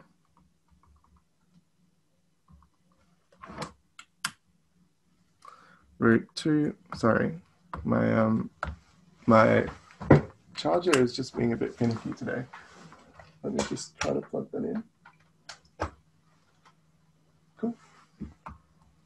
Perfect. Um, so we got this pi minus 2 root 3 and then where was that root 2 pi because i'm multiplying everything by root pi root 2 and then this one is just going to be um, root 2 root 3. And so finally, we're almost there. We've got this pi minus a root b, and they want to factor out this root a. So let's understand what's this a? Well, the a is 2, and if they want to factor out a root a, they want to factor out a root 2. Pi minus 2 root 3 on root 2 pi plus root 3, which is precisely the form they wanted it in. So this, look, look how many lines this took so many. But there's there's a couple of things I want to take you to take away from this. First of all, it's gonna sometimes questions are just hard. You have to put in the time one step by like one step, one step, and eventually you'll get something nice, hopefully. But another thing is don't be discouraged by what you have. Because I, I, I, I claim and I'm pretty sure that already by this step, so this step here, let me maybe change color. By this step here, I think you've already got three marks, to be honest. And then for this, I think is only just one extra mark. And then maybe like, yeah, you know, like it's worth five marks and it's a very hard question, but just try your best. And I reckon you can get most of the marks anyway. Um, cool. So how does that bring us the time? This is 11.10. Oh, cool. So we spent 15 minutes. That's totally fine. Cool. If you have any questions, check out the Mentimeter because I understand that was very hard. Um, sorry, didn't mark that one as answered. Cool. Um, next, now, well, that's all of differential calculus I wanted to cover today, and let's so let's move on to integral calculus. Um, a real powerful, I wrote two, that should be tool, is U substitution. And this is when we make an appropriate substitution to evaluate an integral we may have otherwise not known about. And the best way to revise is to just jump right in. Note, we don't want to rush the substitution. We want to write all these steps. So let's have a go.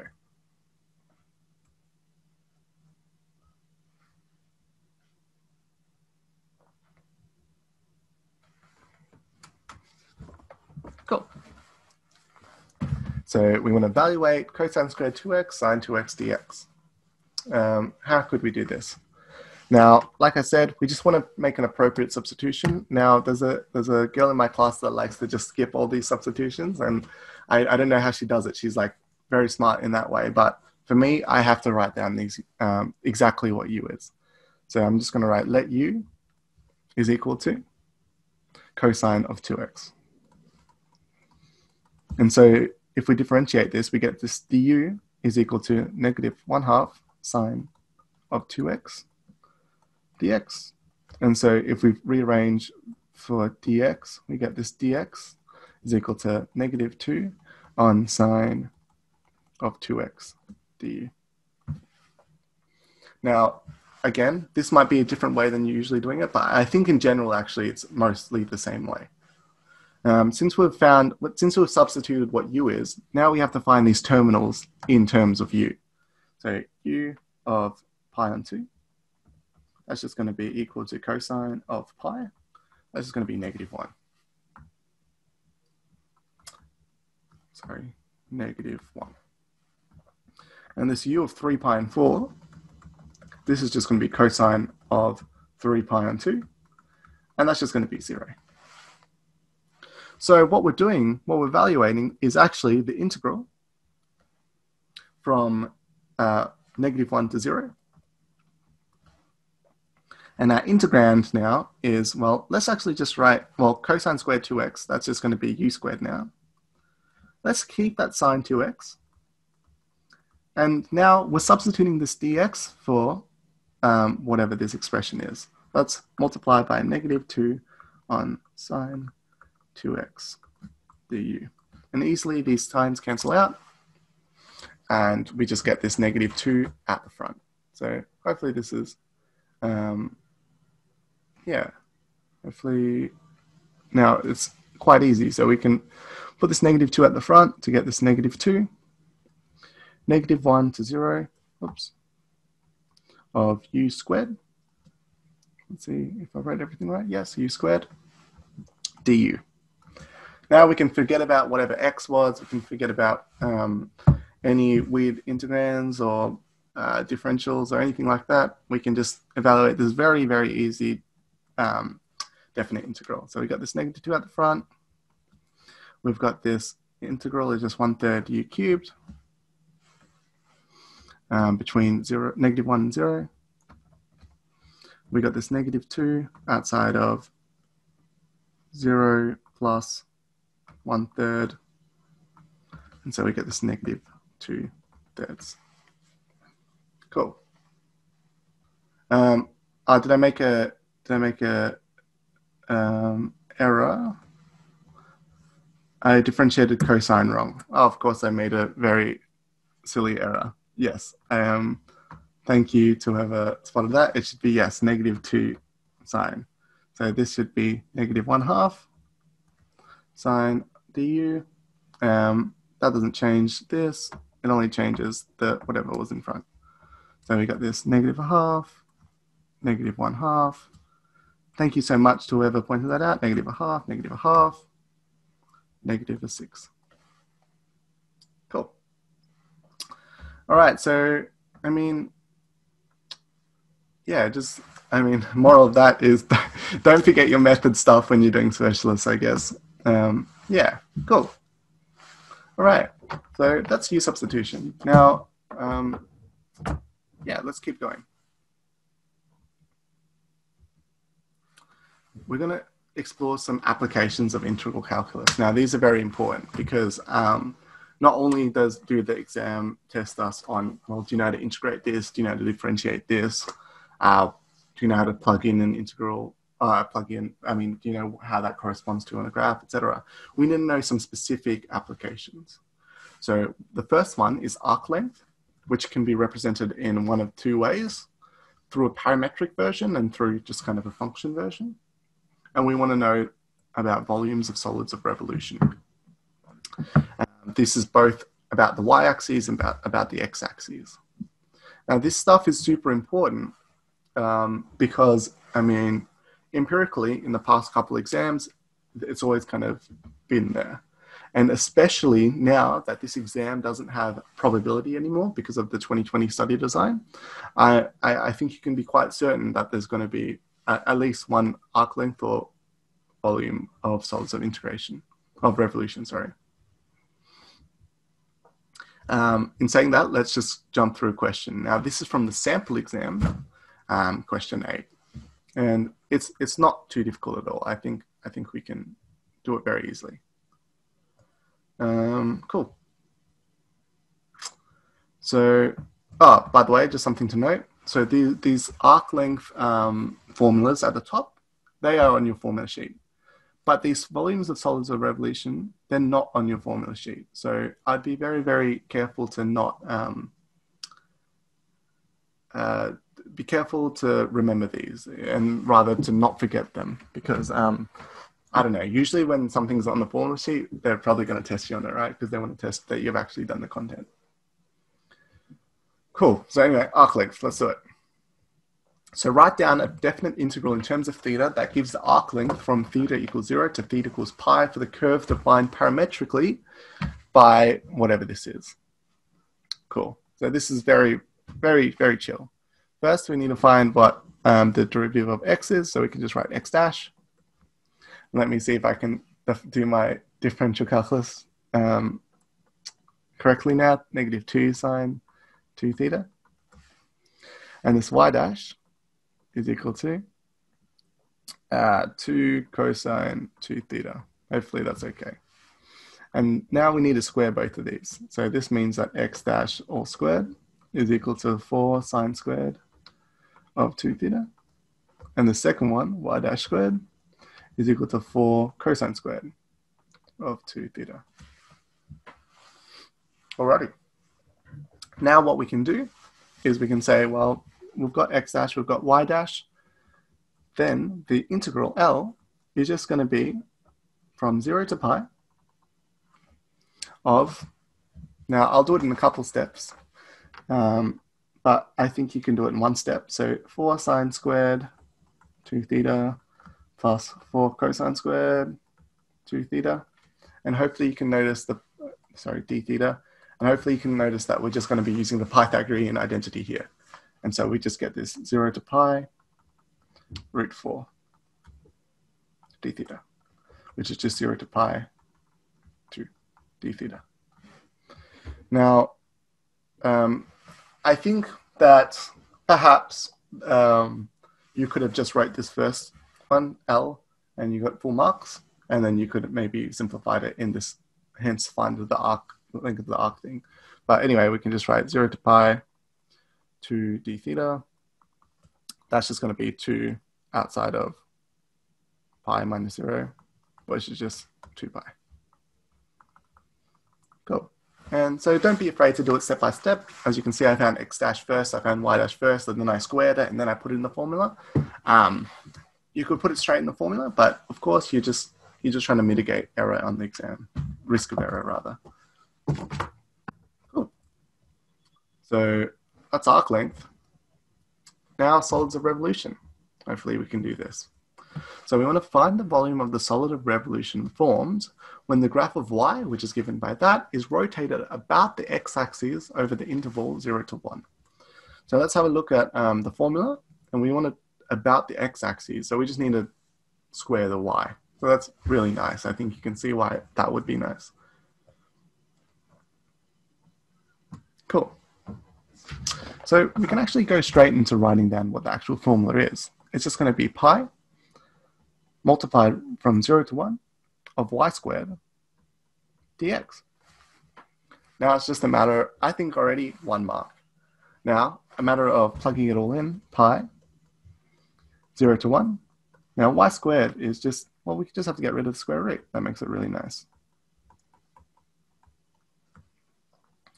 Dx and since we have this, um, I mean, we want to make it look uh, a bit nicer, what we can do is we can separate this 1 and this 2x. So we can say that this is equal to pi, um, the integral from 0 to 1 of 1 on 1 plus x squared plus 2x on 1 plus x squared dx. Now, just an, as an aside, just if you couldn't see this intuition already, I hope you can see that this 1 on 1 plus x squared is going to be related to tan inverse. But this 2x on 1 plus x squared, if we just had let u is equal to 1 plus x squared, we can see that du is equal to 2x dx. And so this top half just kind of cancels out. And so we get this is equal to pi at the front, outside of, sorry, I should use these square brackets, tan inverse x. So that's going to be our 1 plus 1 on x squared.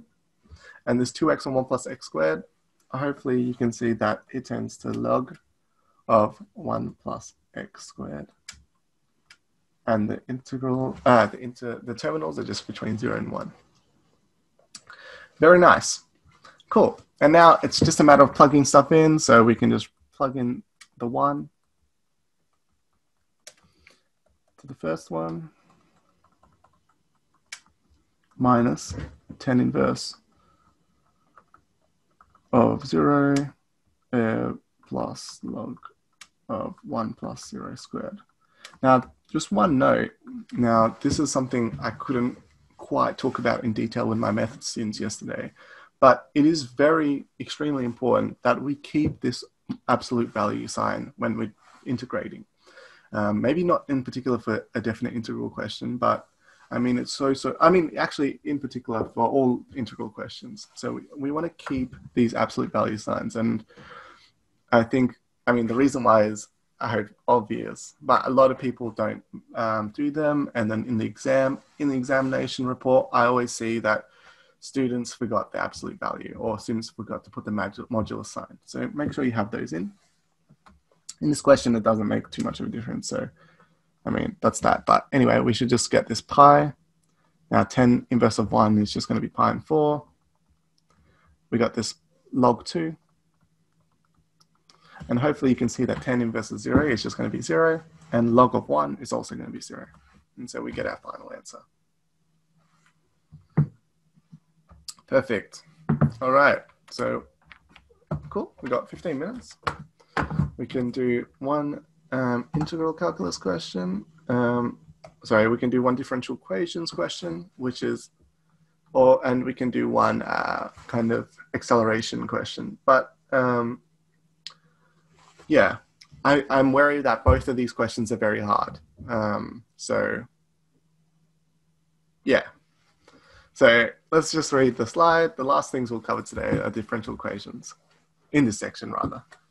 Uh, for the sake of time, I'll not be formally explaining any theory in the slide, so I'm not going to be talking about um, things like um, uh, I don't know. I'm not going to be telling you how to exactly solve the differential equation, like um, or like stuff like how to integrate certain things. But I'm just going to show you the overall process. Um, now, yeah, we'll do a worked example to show you my method of solving these types of equations, which hopefully will help now, the first example is a very, very hard differential equation question. It's uh, with it's on the 2016 exam question 10 worth five marks. So it's the last question, super, super hard. And the second will be using this uh, very, very nice identity. A is equal to V multiplied by dV dx. Now, there are a lot of for, like formulas uh, we can rewrite for A. One has X, one has V, um, one has just like d dx and stuff like that. Uh, I claim that this is the only one that you really need to remember. So if you need to remember a formula in an exam, just remember A is equal to V dV dx. And hopefully that will help you out um, a lot.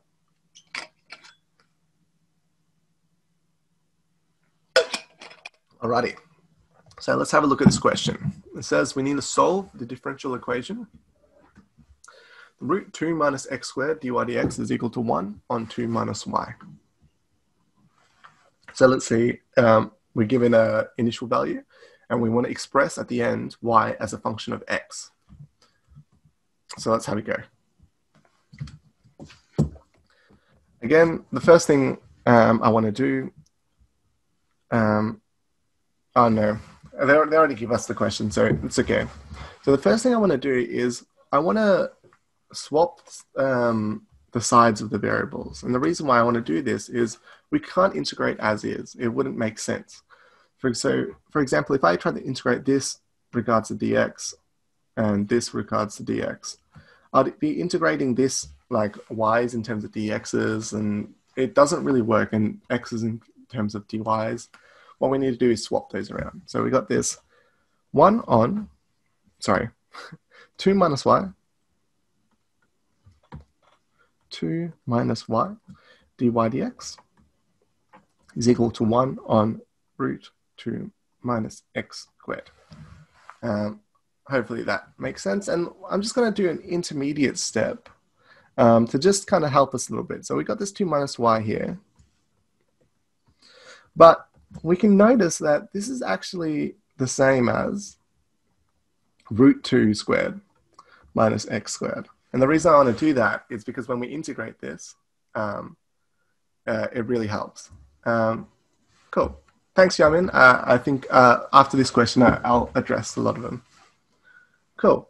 Um, all right. So let's try to integrate both sides with respect to x. So we get this integral of 2 minus y dy is equal to the integral of 1 on root root 2 squared minus x squared bum, dx. Cool. And so hopefully you can do this really easily. 2y minus half y squared is equal to sine inverse of x on root 2 plus c.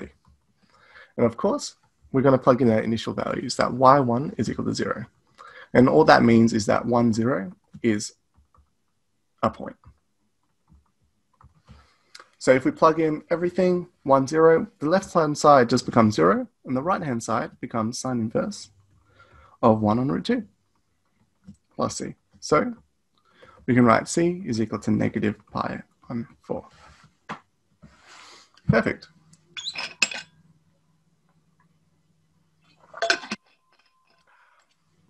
So we've solved the equation, and already we've got most of the marks. But now, like it says, we need to solve express y as a function of x. But already I can, or I can confidently say we've got maybe three or four marks. And that wasn't that much working for three or four marks, but you know, at least we gave it a try. So let's try to solve this now. So we've got this so, we've got that 2y minus half y squared is equal to sine inverse of x on root 2 minus pi on 4. I just want to get rid of um, this half here. So I'm just going to multiply everything by 2.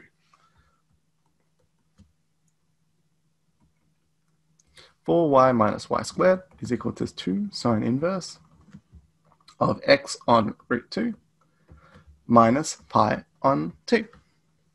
And what, what I want to do is solve for y, right? But currently I have a quadratic.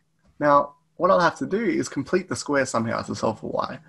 And to do that, I just want to get rid of that pesky negative. So I'm going to multiply everything by negative 1. y squared minus 4y is equal to negative 2 sine inverse of x on root 2 plus pi on 2. Now to solve for the square, hopefully you can see all you have to do is plus 4 to both sides.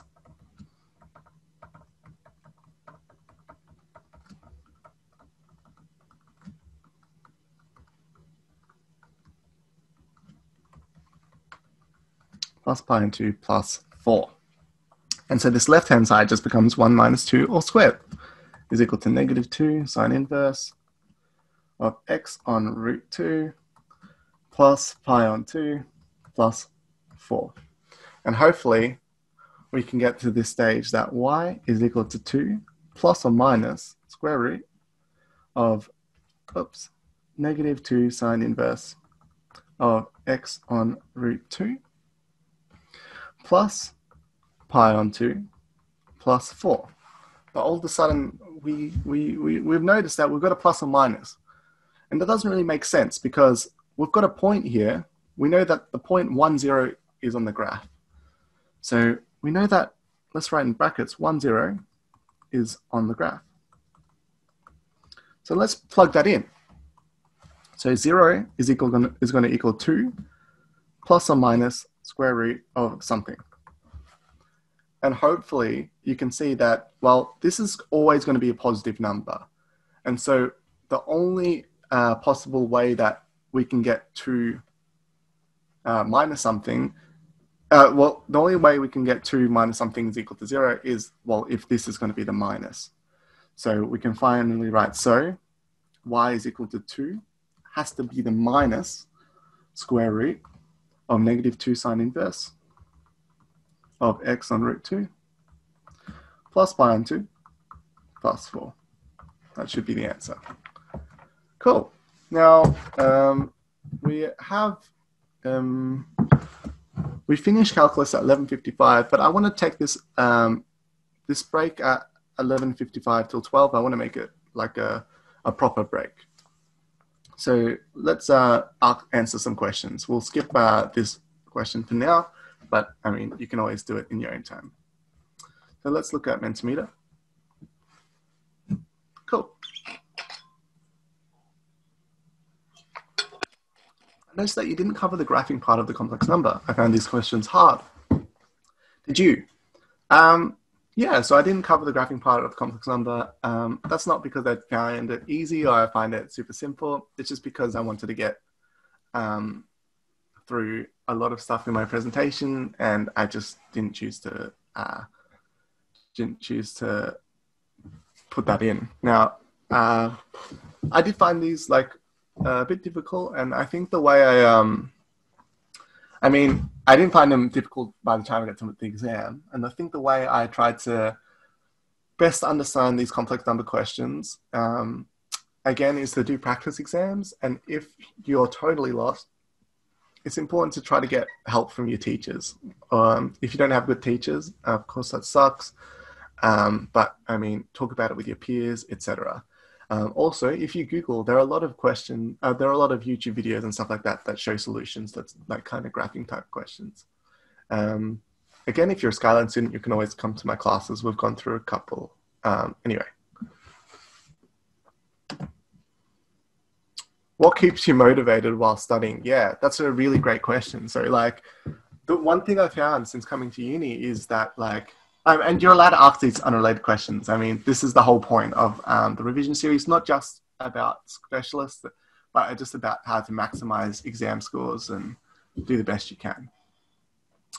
Now, what keeps me motivated by um, while studying? I can give my answer, but um, Boswell and Jamin, do you want to kind of chip in here as well? Hello. Hey. Hey. Do you see this question up on the screen? Do you Yeah. have any thoughts? Um, Boswell, do you want to go first? Uh, yeah, sure. Um, so what keeps me motivated while studying? So, um, usually, or like specifically for uh, maths, I like to understand. Like for me, I'm more of a applications guy, so I like the applications of mathematics. So um, sometimes I like to sort of like watch YouTube videos on maths. Like uh, a few examples would be like uh, 3Blue1Brown.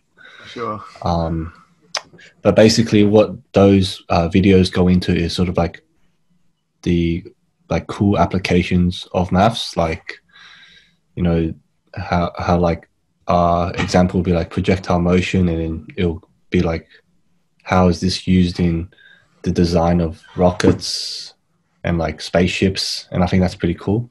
So that kind of motivates me to study. So understanding like why you're studying the topic and like how it can be used is what motivates me. Yeah, no, for sure. If I could just Yeah. chip in on that, like um, I watched 3Blue1Brown Two, even though I'm more pure. Um, but uh, yeah, it's it's like important to not look at maths as just like numbers isolated. We want to kind of try and visualize them and see how they're cool. And like I think for sure, like um, it can mo- it can really motivate you when you feel like you're not doing it for nothing. Like you're going to use it in the future somehow, or it's cool somehow. Yeah. What about you, Jamin? Yeah, I, I agree with what Bunsen said. Um, for me, um, I've tried a couple of different methods, including um, just I've tried the Pomodoro technique, where you Sure. just you know you study for 25 minutes, you take a five minute break, and then you keep going. And then there are a lot of apps that do that. And then um, I did that for a while, and then I went to um, just trying to set goal set my goals for the day and so um, I was make these um, timetables where I set out how much time I have in the day that I could spend on studying and, and everything else, right? I just take away all my sleep time, all my eating time, and like uh, a few hours for just like relaxing. And then you have all that time, and then you try and um, set out. Oh, today I will focus on maths on this topic, and I'll try and fo- um, make sure that I do as many questions that I can for this. And then you try and master it before you move on to something else. And then another thing that you might not expect is exercise. Actually helps a lot. um, for me, especially in uni now, um, sometimes it can be quite tough getting through a lot of um, studying. But then, um, so I started running, and then after you do exercise, you actually get like you feel more. Mo- well, I feel more mo- more motivated. Um, even though you feel like, oh, I must be really tired after I exercise, so I won't waste my energy, right? But really, it um, releases a lot of, you know, endorphins, and like it makes you feel a lot more he- happy, and um, that makes me more motivated to study. Yeah, for sure. I think that's that's a really good point. You need to treat your body. Um, you know, you need to look after your body, and like uh, that endorphins thing is su- super important because it's not just about. Um, you know, you can always put in three, four hours of study, but you want to put three, four hours of efficient study. And uh, a lot of time, you know, um, if you exercise, if you eat well, I think you, you, you you can stay more focused. Yeah, definitely. Yeah, cool. Thank you, guys. Let's mark that one as answered. Can you show what was the chain rule for implicit differentiation again? Yep, totally. And don't stress if you miss any of these, because you will um you can uh, uh you'll get the recording afterwards. Um, bum, bum, chain rule. Here we go. So uh, one way to think about it, anytime you're doing a chain rule, now this maybe is, is sacrilegious to a mathematician um, like me, but you can kind of think of it like this. You, you're really cancelling out some stuff if you look at it as fractions. And so you end up with just this du dx. And that works with any kind of variation of the chain rule. So let me just, sorry, ignore my scribbles. Yeah, hopefully you got that. Cool. Last question. Those questions were awesome. Yet, a challenge I face when completing SACs and exams is that whenever I make a simple mistake for such a huge question, I panic and make more mistakes. How could I remain calm? Yeah, that, that's really that's a really great question. Um, uh, I, I know that every single person in the sim call would have you know got to a SAC and you know panicked at one SAC um, at some point in their life. Um, the way I kind of mitigate this is I just go slow. So I found out through my empirical, just just me being empirically, uh, just how I, I work and all the SACs and exams I've done, is if I take my time and I don't make that simple mistake, um, then not only um, will I not make the mistake and get the answer right, but also um, I actually save time by taking my time. And that seems counterintuitive, but what happens if you, if you make a mistake, you have to go all the way out to the front, you have to cross out a whole bunch of stuff, you like start to panic. It feels bad because you don't have enough room and like with the lines they give you, you might have to like scribble in something really small. And so, I mean, I try to just take my time. But um, yeah, Boswell, do you, I mean, do you have any insights? Uh, yep. Yeah, I, I agree. Uh, Jami, you want to go first? Okay, okay. Um, so um, for that happens a lot as well, and even now it sometimes happens. But what what helps, like what Jinsi said, you take time, but also um, you want to. A lot of the time, like I've noticed that for exams that I don't do as well in, I try and rush through. Like I finish a question, I move on to the next question straight away, and I try and do as much as I can in as little time as I can. But in the end, um, when I do have that time left, so say I have half an hour left in the exam, I go through and look at my answers again, and I can see that I've made some silly mistakes, and then um, it makes me quite like demotivated in a way because you're like, oh, what if I made this mistake here? What if yeah. my other question was answered as well as well? So it helps when you after you finish your question, you go through and you try and do that question again, but quicker in a way. So you it's almost like checking your answer, but you also want to try and um, maybe just enter the numbers into your calculator without um, writing anything down, or you could just like try and um, think about another way to do it, and then that way it will give you a lot of reassurance. So even if you don't end up having enough time checking your answers, you still have a lot more confidence to continue on with the rest of your exam. Yeah, actually, that that's a good point. You wanna, you like, you don't wanna your brain to dwell on all the mistakes. You wanna just quickly, kind of go on autopilot a little bit. Um, yeah, Boswell, any any other insights? Yeah, so I agree with like building up the confidence in the exam. So what I like to do is I usually tackle the very simple questions like the one or two markers, and then that kind of you know you're just getting it out of the way, and then you also build a like build a sense of confidence in the exam. So when you tackle the harder questions, which are worth more marks, um, like you already know that you've pretty much finished some, some part of the exam, so you don't have to worry about that anymore. So then you can dedicate and focus your attention to those big questions.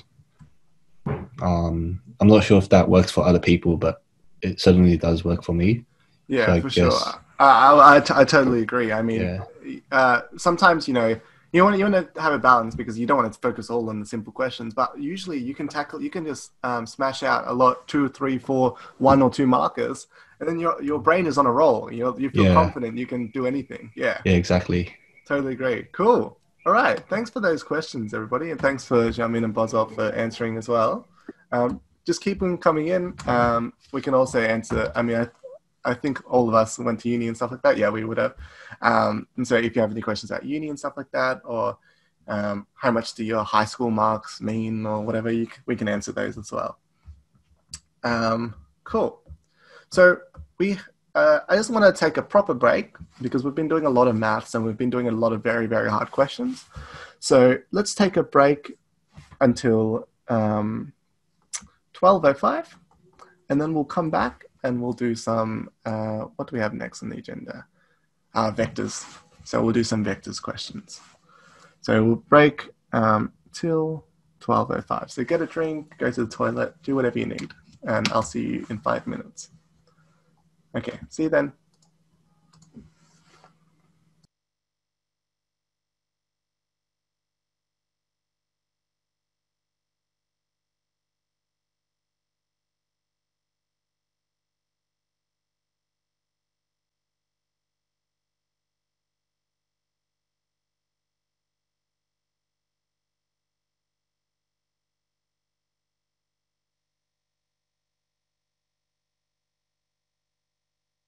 Hi, I'm Boswell, and I'm currently a third year cadet at UBS. My role is a quantitative analyst in the equities division, and my responsibilities involve alg- algorithmic trading and data analytics. My biggest career highlight has been the opportunity to learn a lot about both the business and technology, as it ties in directly what with what I'm currently learning at university. I study maths and computer science, and during high school, I really enjoyed maths and physics. The advice for students sitting the exams is to just relax and don't let your results define you. If you've already put in effort throughout the year and consistently studied, then you're pretty much guaranteed to do well.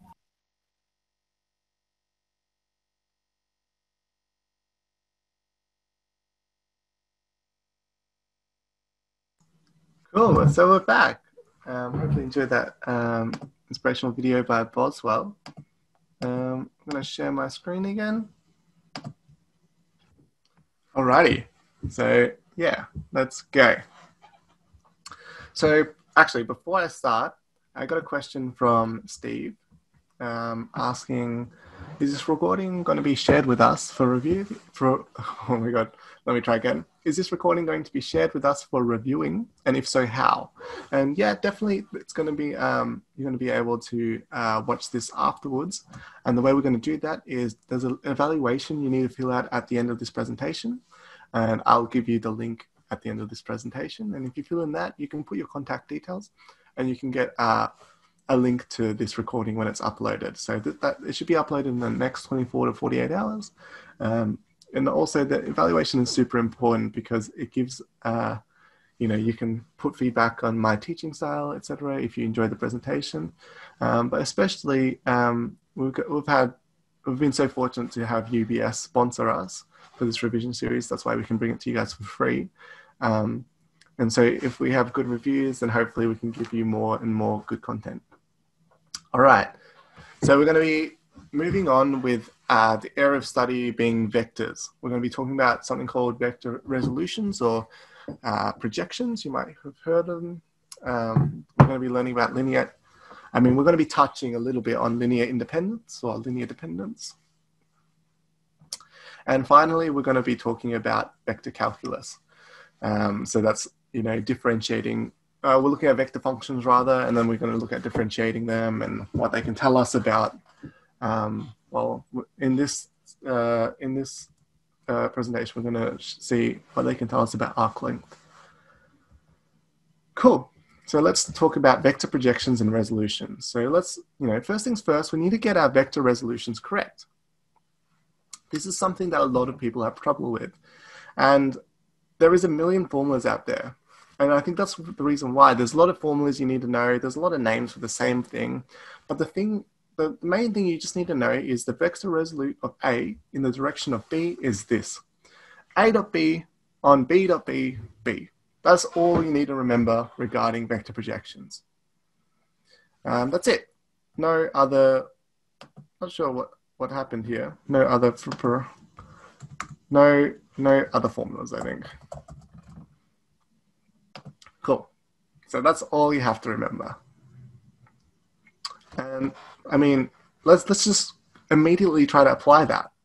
We know that when you want to find out what's the res, uh, vector resolute of A in the direction of B, and let's look at the, the question.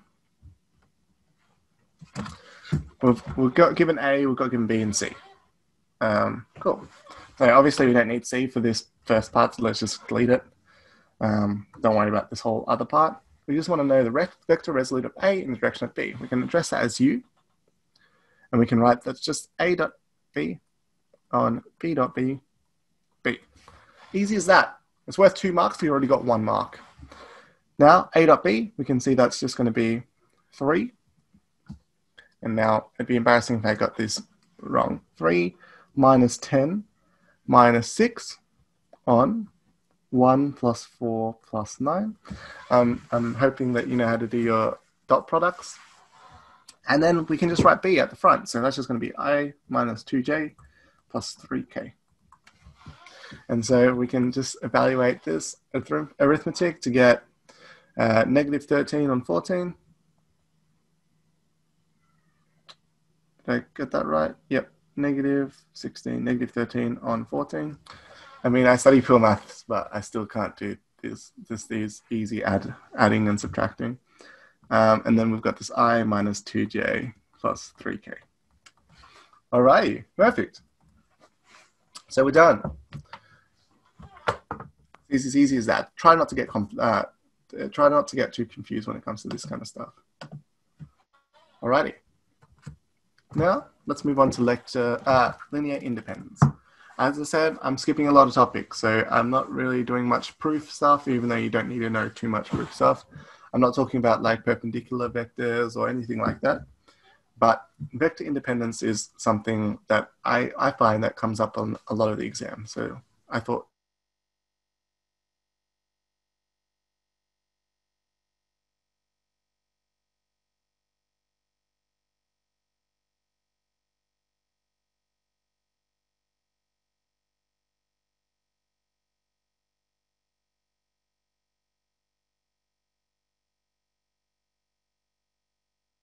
i plus j in terms of those other vectors. So i plus j is half the 2i vector. So this corresponds to this one. And then it's just going to be negative 1, the negative j vector. So what we can say is one of the vectors, I mean, this is more fancy vocab vocabulary, but one of the vectors is a linear combination of the other uh, vectors. So since we can write one of the vectors in terms of the other vectors, we can say it's not linearly independent. Or alternatively, you could say it's linearly dependent. Now, the way um, so this is kind of theoretical. I mean, I guess you can understand the theory, but how do we do this in practice? How can we find, I mean, we have three vectors and we have a constant here, d, and we want to find what d is for them to be linearly dependent. And I'm going to show you a process that you can do to find this. So what you want to do is you want to look at all the i components. So let me just highlight them, all the i components, all the j components, and all the k components. And you want to look at them separately. So, okay. So let's start with the green components. And remember, we want to make one vector up using the others. So let's say that 2x minus 2y is equal to negative 6. So 2, 2 multiplied by that first vector, negative 2, sorry, some constant multiplied by negative 2. Uh, maybe I could, maybe it's better to write this as the i. We're looking at the i's. So negative, uh, 2x minus 2y, we want that to equal negative 6. Now, um, don't really have time to talk about why this is the case, but um, if you do, I mean, I guess you can ask the question on Mentimeter, but this is, I'm just going to show you kind of the process of how to do it. So we look at the i components and we do this kind of equality. Next, we can manipulate the i components a little bit to make it a bit nicer. This just means x minus y is equal to negative 3. Again, we can write that this means that x is equal to y minus 3. Next, let's look at the, the yellow components, the, or the j components rather. So let's look at j. We get this negative 3x plus 4y is equal to d. Sorry, equal to 2, my bad. Negative 3x plus 4y is equal to 2. Um, now we can manipulate this a little bit because we can we know what x is, so we can just plug that in. So negative 3 y minus 3 plus 4y is equal to negative 3. And then we can just expand the brackets. Negative 3y plus 9 plus 4y is equal to negative 3. And then hopefully, with a little bit of rearranging, you can see that, well, this 4y plus negative 3y, that just becomes y. And if we put 9 um, to the other side. Um, sorry, negative 3, y minus 3. Let me see if I just made a, arithmetic mistake. Um, negative 3x plus 4y is equal to 2. Negative 3, y minus 3. So we get this negative 3y, perfect. Negative 3 multiplied by negative 3 is just 9. Okay, and then we get this 4y. It's negative 3, cool. If I've made an arithmetic mistake, please please tell me now. I don't think so.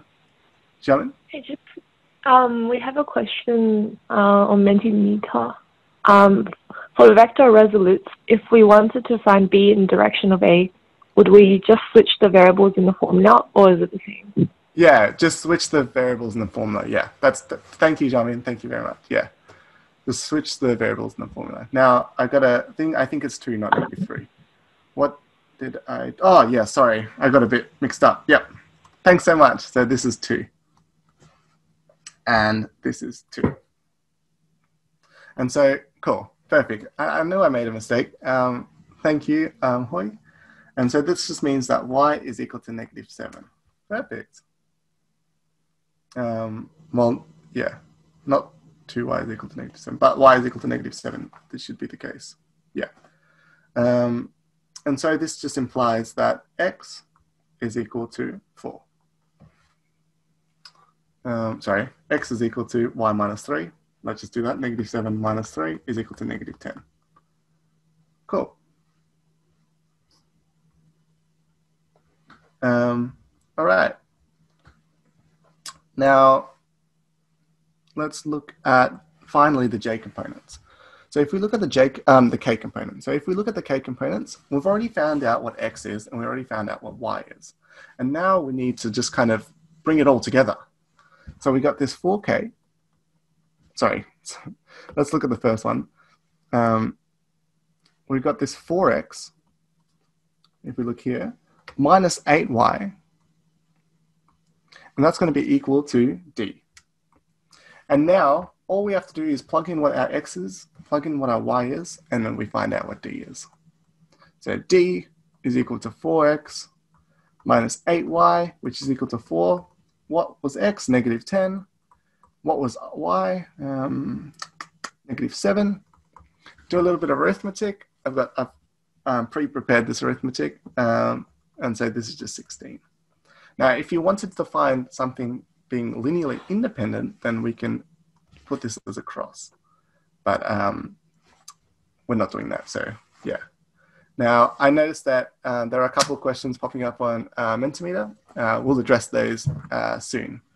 Um, cool. Let's go through the last uh, vector example. So we will end um, our discussion, oh, should say our, sorry. English is not my strong suit.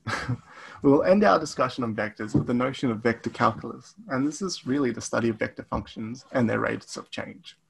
So we might look at something like r of t is equal to, um, r of t is equal to 2 plus ti plus 4t squared minus 1j. You know, something like that. The beauty of vector functions is to find, um, oh, sorry, is to, sorry, get rid of that, is to use calculus on a vector function, we can just restrict our scope to the individual i, j, and k components. And so let's just jump into a typical example. Now, um, what I need to, what I just want to uh, say is that, um, is that what I mean by we can just use calculus to the individual components is if we want to find i dash of t, we can just say that's just equal to 2i plus 8tj. Um, sorry, can't do that right. i plus 8tj. Um, hopefully, I mean, hopefully you've seen all this before. Cool. So let's um, jump back into OneNote.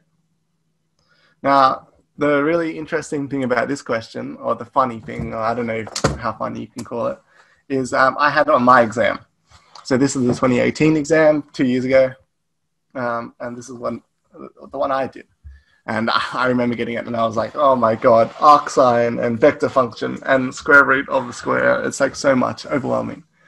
Um, but I think we can do this. Um, it's not too too hard. So let's have a try we've got this r dash of t is equal to. Now we just have to integrate, um, we just have to differentiate the individual components. If we see this r of t here, we can see oh, easily, this is t squared. And this we can use um, our, uh, well, the first one, we can just use the formula, one on square root of one minus t squared. But with the second one, we can just use the quotient rule. So, I'm sorry, the product rule. So we got root 1 minus t squared plus t, and then we want to differentiate this 1 minus t squared. So it's just going to be negative 2t, 1 half, and then it's just going to be 1 minus t squared to the power of negative half.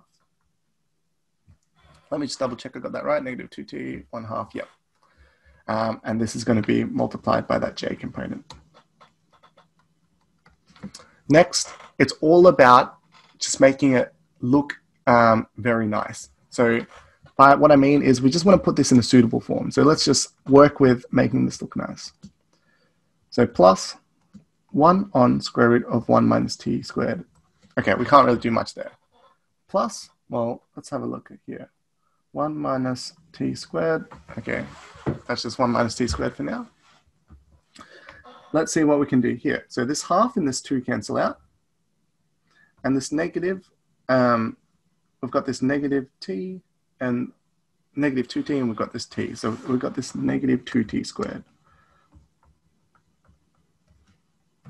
All right, and then it's all divided by actually this square root of 1 minus t squared. So it's already looking quite nice. We've got this, I mean, if we put the denominators together, we've got this 1 minus 2t squared on root um, on root 1 minus t squared, and then we've just got this plus 1 minus t squared.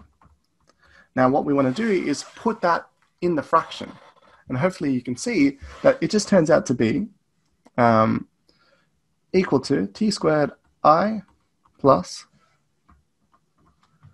uh, 1 minus 2t squared. Sorry, did I make a mistake here? Oh, the 2's cancelled out, so the 2 shouldn't be there. 1 minus t squared on root 1 minus t squared. Thanks, Rico. Um, and then on top, to get this in of numerator, we just have to multiply the top and the bottom by root 1 minus t squared. So we just get this plus 1 minus t squared. And all of a sudden, it, it's becoming really nice. We can write this is equal to t squared i plus 2 outside of 1 minus t squared divided by root 1 minus t squared j. And then we get this really, really nice t squared i plus 2 outside of root 1 minus t squared j. Now, I did painstakingly every single step, but I'm sure you could skip a lot of these steps. Um, I know you guys are very smart. Um, but for me, I just, just wanted to, for completeness, I just wanted to do everything. Now, what do we need to do? The question's asking, we want to find the distance d meters that the particle travels along the curve in three quarters of a second. So we found, we pretty much want to find what this is. And if it's traveling distance along a curve, we know we need to find some sort of arc length because that's the definition of what distance of a curve uh, along a curve is. So to do that, um, let's just find, you know, well, they've got a really nice AT squared plus BT plus C. But for us, I mean, it might be worthwhile to just have a look at what that arc length square um, arc length formula is, if in case you guys have forgotten.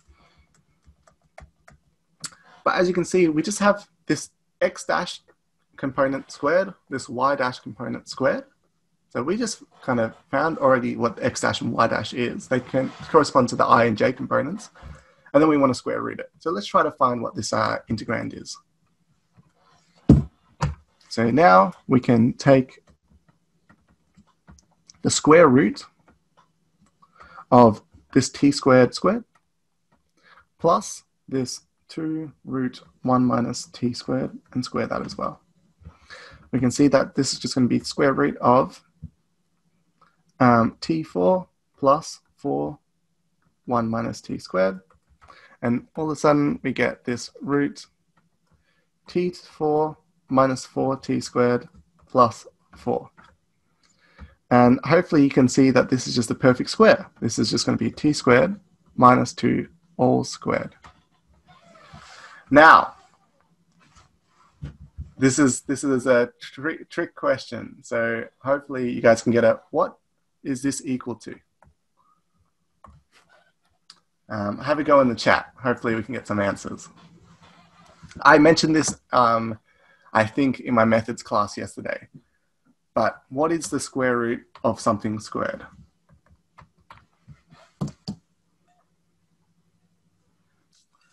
Um, yep, so I've got one answer, t squared minus 2. That's incorrect.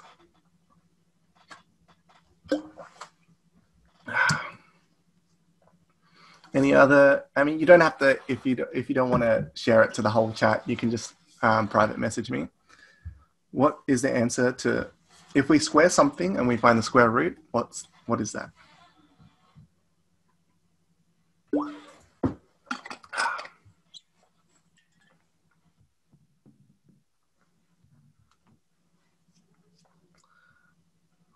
Is there a plus minus? Yes, very, very important.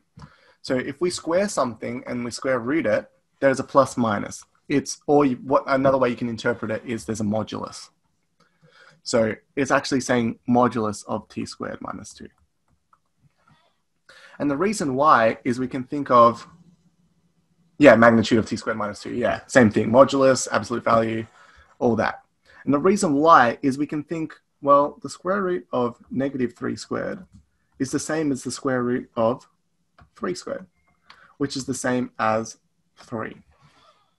So we can see, I mean, we can, we can see that in the end we had to find the modulus of whatever was inside those brackets. Good, very astute, very observant. Let's keep going. So we know that the modulus of t squared minus 2, t, oh, sorry, I wrote t, t squared minus 2, we know that that's equal to, and let's have a look, that's equal to whatever was inside here. at squared plus bt plus c. So let's go. Oops.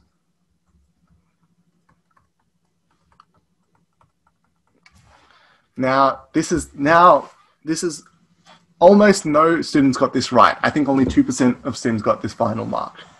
How do we find out if it, is it the modulus? I mean, is the positive version or is it the negative version? What we need to see is that it's only defined between t being between 0 and 1. So if t is between 0 and 1, we can see that, well, it's always going to correspond to that negative modulus because uh, this whatever's inside this absolute value is always going to be negative. Now, this is a very kind of high level concept, and I have to try to think about what I'm saying. Since zero, I mean, t is between zero and one, then t squared minus two is always less than zero. And so we get this negative t squared plus 2 is equal to at squared plus bt plus c.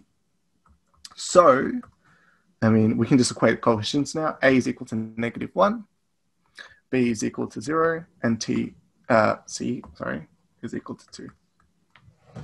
And after all that, we finally got culminated into our final answer. All right, so that I mean, that kind of worked perfectly because we have, um, let's see if we're on schedule. I wanted to finish this at 12.30, yeah. Now let's see if we got any questions on Mentimeter that we can address. And then we'll kind of finish with our little investigation into mechanics.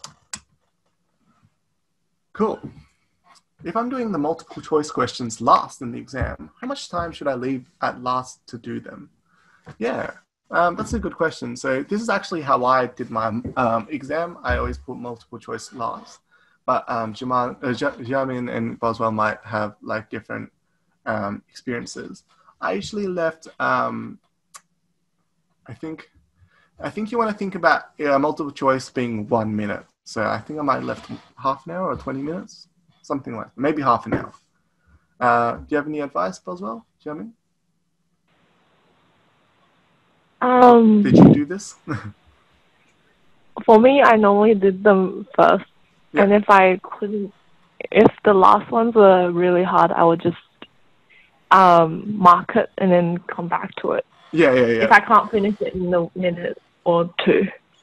Oh, no, fair enough. Boswell? Yeah, pretty much the same. I usually do them at the start, but if I can't do it, I just mark it and come back to it. Yeah. But I like if I can't do it, I usually just uh, take a guess because you might as well take the chance of getting a mark. Yeah, that, But- that's a good point. You never want to leave it. I mean, Yeah. usually you know if there's one or two that it can't be right.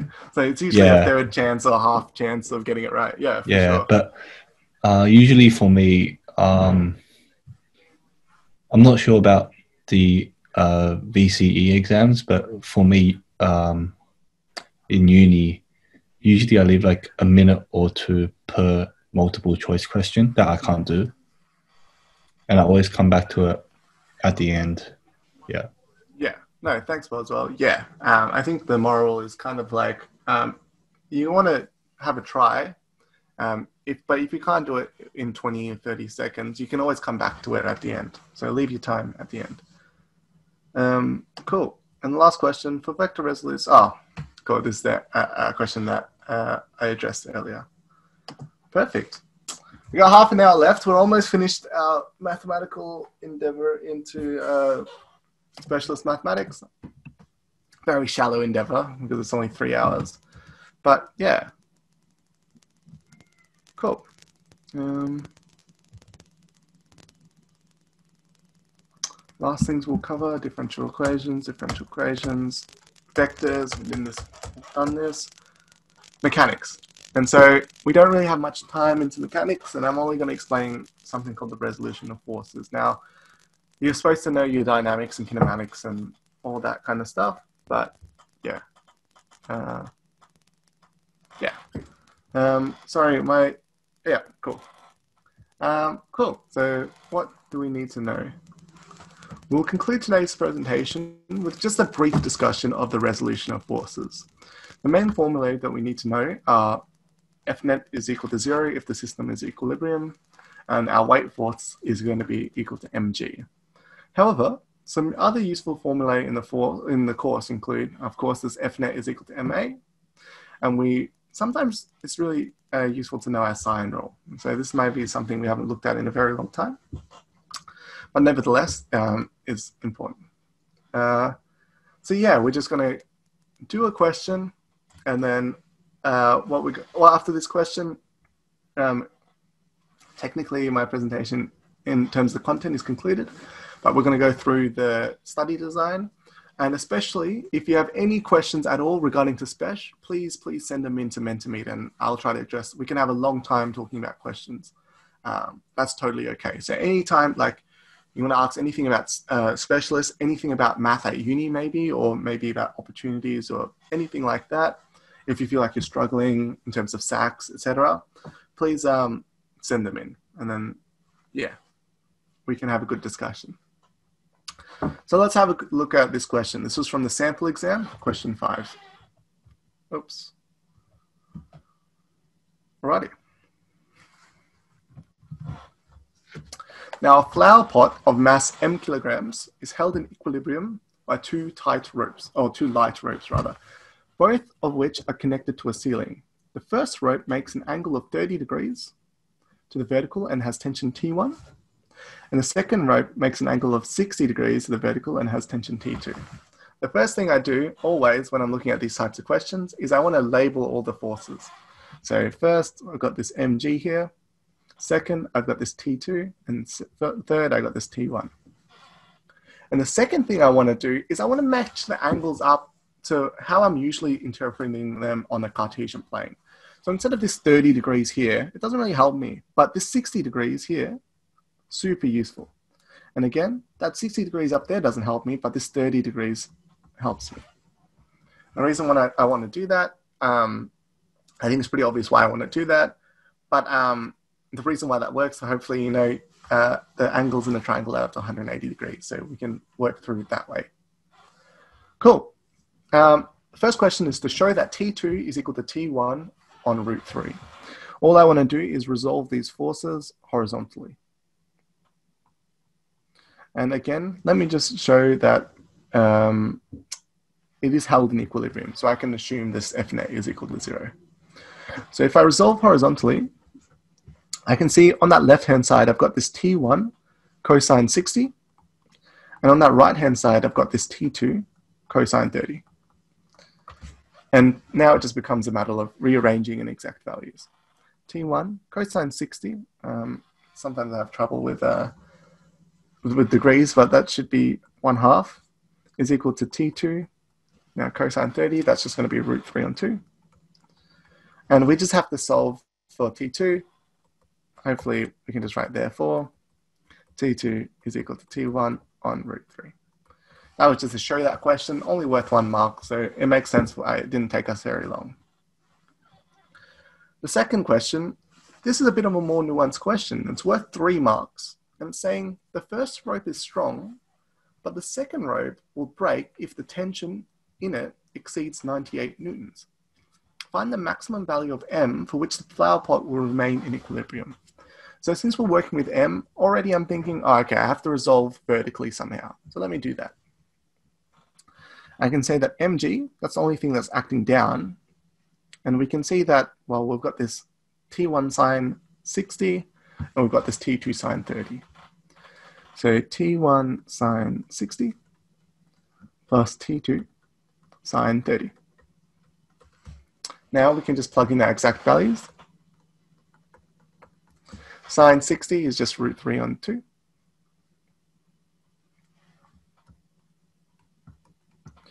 And sine 30 is a half.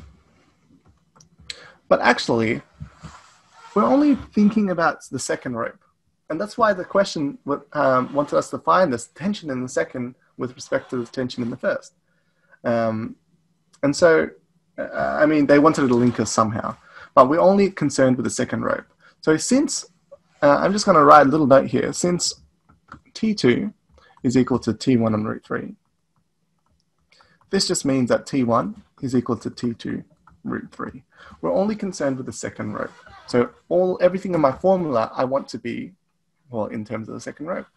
So I've got this mg is equal to t1. Instead of t1, I'm just going to write t2 root 3 multiplied by root 3 on 2 plus t2 multiplied by half.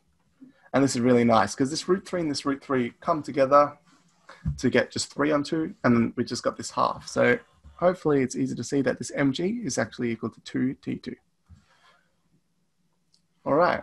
And they're saying we want to find the maximum value of m. So we have to have m as the subject somehow. So we got this m is equal to 2t2 on g. And instead of writing just g as g, let's write it as 9.8.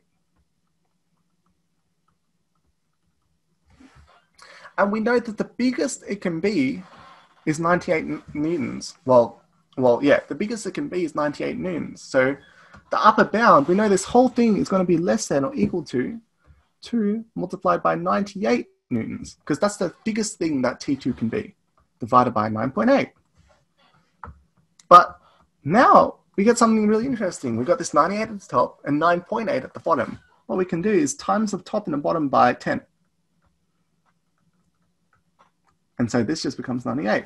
The 98s cancel out, and this upper bound for ma- uh, m, which is what we needed to find, this maximum value of m, just turns out to be a nice 20 uh, kilograms. And that, you know, to be fair, is only worth three marks. I mean, to that, it's worth three marks, but it's not that much kind of working out. So, yeah, just make sure you understand what we're working with. As I said, I, I try not to work on intuition I try to just look at, well, okay, I just want the second row. That's all I'm thinking about. I'm looking at maximum values of m. Okay, I'm going to solve for m. And then I just want to find an upper bound because that's what maximum value means, the highest it can be. All right, 1240. Now, this took me, this section took quicker than I expected. Now, I'm going to just check the questions, and if we have questions, we can keep answering those. Um, and if we don't, I guess um, we can look at the VCAA study design and we can also look at that uh, partial fractions question that we missed. So let's have a look if there's any questions. Cool, we're, we're getting questions, thanks. Um, do you enjoy uni more or high school? Uh, let's maybe let's start off with the volunteers. What do you reckon, Jamin? Um, I I think the short answer is I enjoy uni more, but um, the long answer would be that um, actually high school is a really, really great time in your life, and you look back on it fondly because you get to spend time with your friends almost every day at school, and you don't get that in uni. It's really hard to get that in uni, and there are very few people who do actually end up being able to see their friends as frequently because everyone's doing their own courses and you don't match up your times and the uni co- cohort is huge. We have like over 50k students at um, UNSW and you every term you meet new friends and it's really hard to keep friends but in a way uni you get to choose the course that you really enjoy and you get to learn and um, basically continue on and you don't have to do all the different courses and you can focus on one. And I think that's that's um, why I enjoyed it because I really enjoy my course right now. Yeah, yeah cool. Thank you. What about you, Bozza? Uh, yeah. So, um, it's kind of like a trade-off, I think.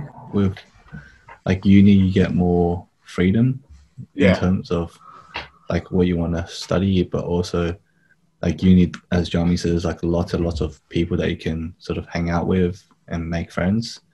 But high school, it's also like less stress. Uh, you have more time on your hands as opposed to uni. So, uh, but personally, I enjoy uni more. Yeah, no, um, Yeah, that's not to say that uh, high school is not stressful because I know a lot of you guys, students, uh, you know, your exams seem you're stressed. But yeah, I mean, I, I would, I really like uni. I like uni way more, to be honest. Like, uh, I feel just, you know, very independent. I can study what I want. I don't have to read any English texts that I don't want to do. Um, Yeah.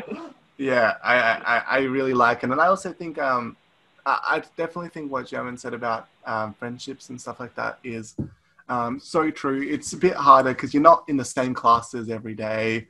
Um, to keep up with your friends, especially if they're in different courses, you really have to make time for them. Um, and everyone's operating on different schedules, people are at work, etc. So sometimes it's quite hard for to keep up with your friends. But um, especially now in COVID times, it's even harder. Um, but yeah, I mean, overall, I would, I think we're all kind of saying we really enjoy uni a lot. Yeah. Almost everyone I know enjoys uni more as well. Okay. Yeah. Cool. Yeah. Same. Same with me. Um, yeah. How many practice exams do you recommend to do for Spesh Math? Yeah.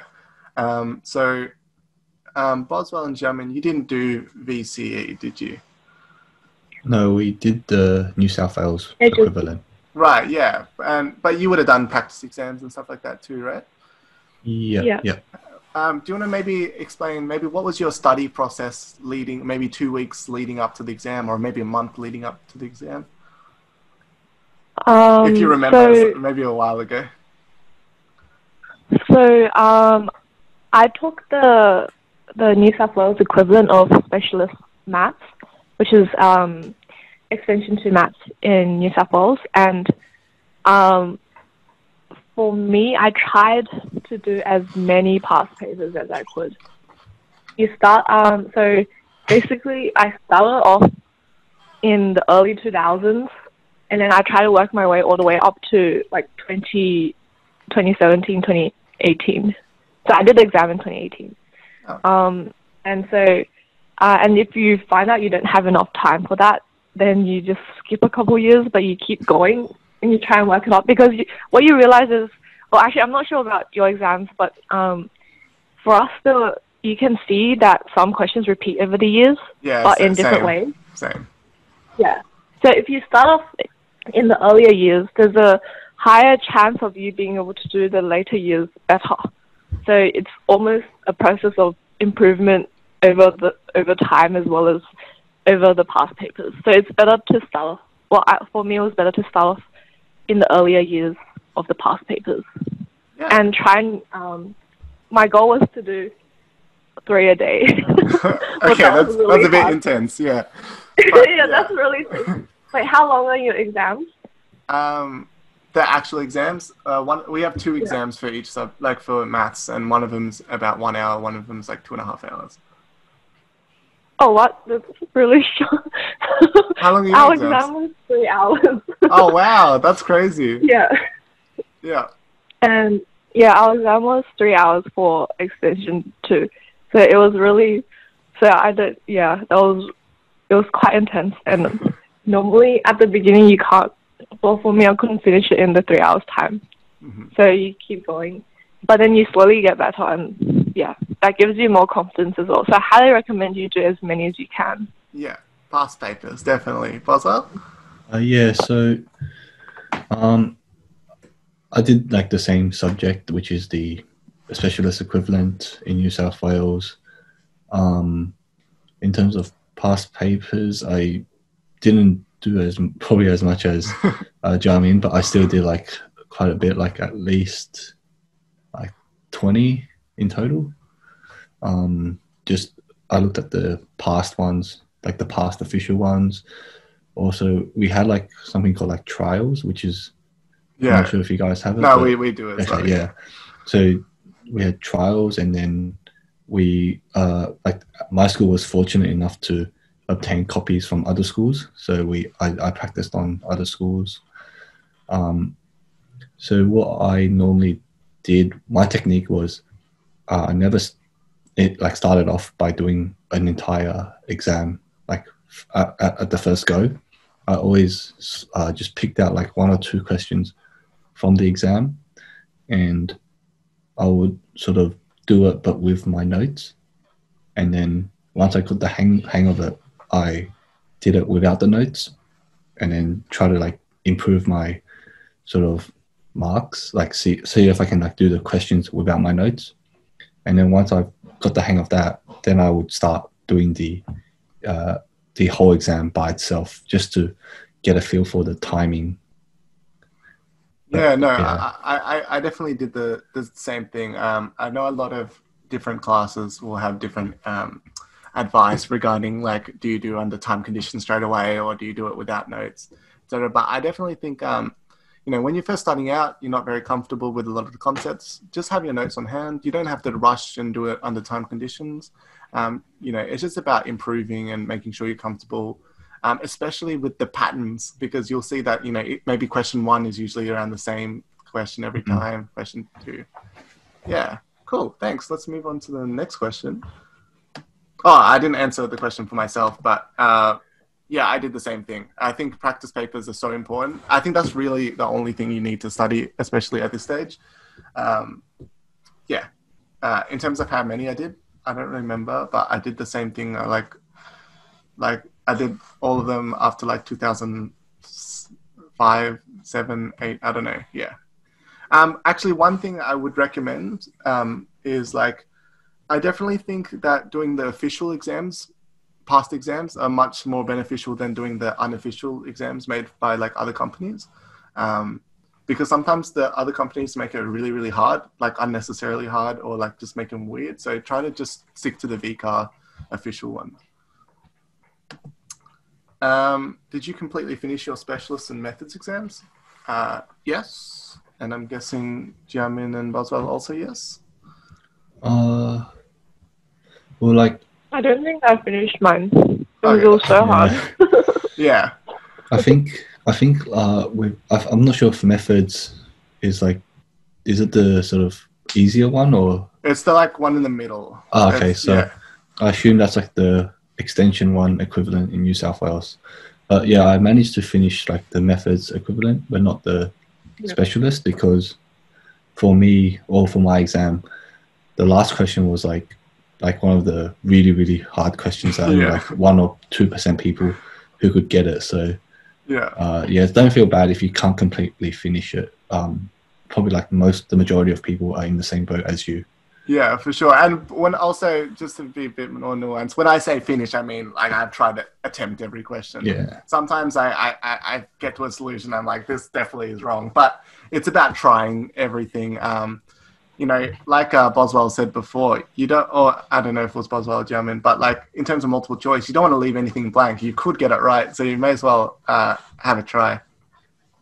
I think that's like my t- exam technique as well is to like at least show an attempt because you might as well get like some partial marks than Yeah. get nothing at all. Yeah, that's that's exactly right. Even if you just write a formula, you might get a mark. Yeah. Cool. Is it just me, or but I feel like the exams got harder over the years. so this is probably something specific to VCE, um, but maybe they gotten harder. Uh, also, the study design has changed and everything. Um, yeah, um, not really sure, but maybe. Uh, but even if the, the thing is, when it comes to, I'm not sure how it worked in New South Wales, but how it works in BC is your exams are like, like it doesn't necessarily matter how hard the exams, but it matters like how well you do relative to the other people that sat the exam. And so like, um, so I mean, if everyone's finding it hard, then the the scaling will um, kind of make it so that you'll still get a good mark. Um, so yeah, you don't have to stress about that. Cool. Yeah. Um, all right, so we got um, we got no more questions from from the audience. Cool. So we answered all your questions. Um, so there's a a couple more things that I wanted to go through. So one thing is I want to talk about the VCAA study design for just a little bit. But before we do that, um, just so we have time, um, could you all uh, fill out this evaluation? So we need to do this evaluation every for every subject. Um, you come to the revision series in for Skyline. Um, and we need these results to refine the subjects we offer, but also to send you a link to the recording. This should not take more than a few minutes. You just have to say your name, um, your contact details, maybe uh, some things about how I presented, etc. So if you could do this, um, I'm going to, you know, uh, maybe give you four or five minutes to do this. I'll come back at maybe 12.55, so about three minutes. And if you could just, um, yeah, if you could fill this out, it's very, very important. So you can get the link, the recording and stuff like that. And yeah, if you could maybe just message in the chat done when you've done it, then I can know, give a gauge of um, how long more to give you guys. So let's just work on this for a couple more minutes and then, yeah, then we'll come back to the uh, talking about VCAA study design and then we'll conclude today's session. Okay, see you at 5, 12.55.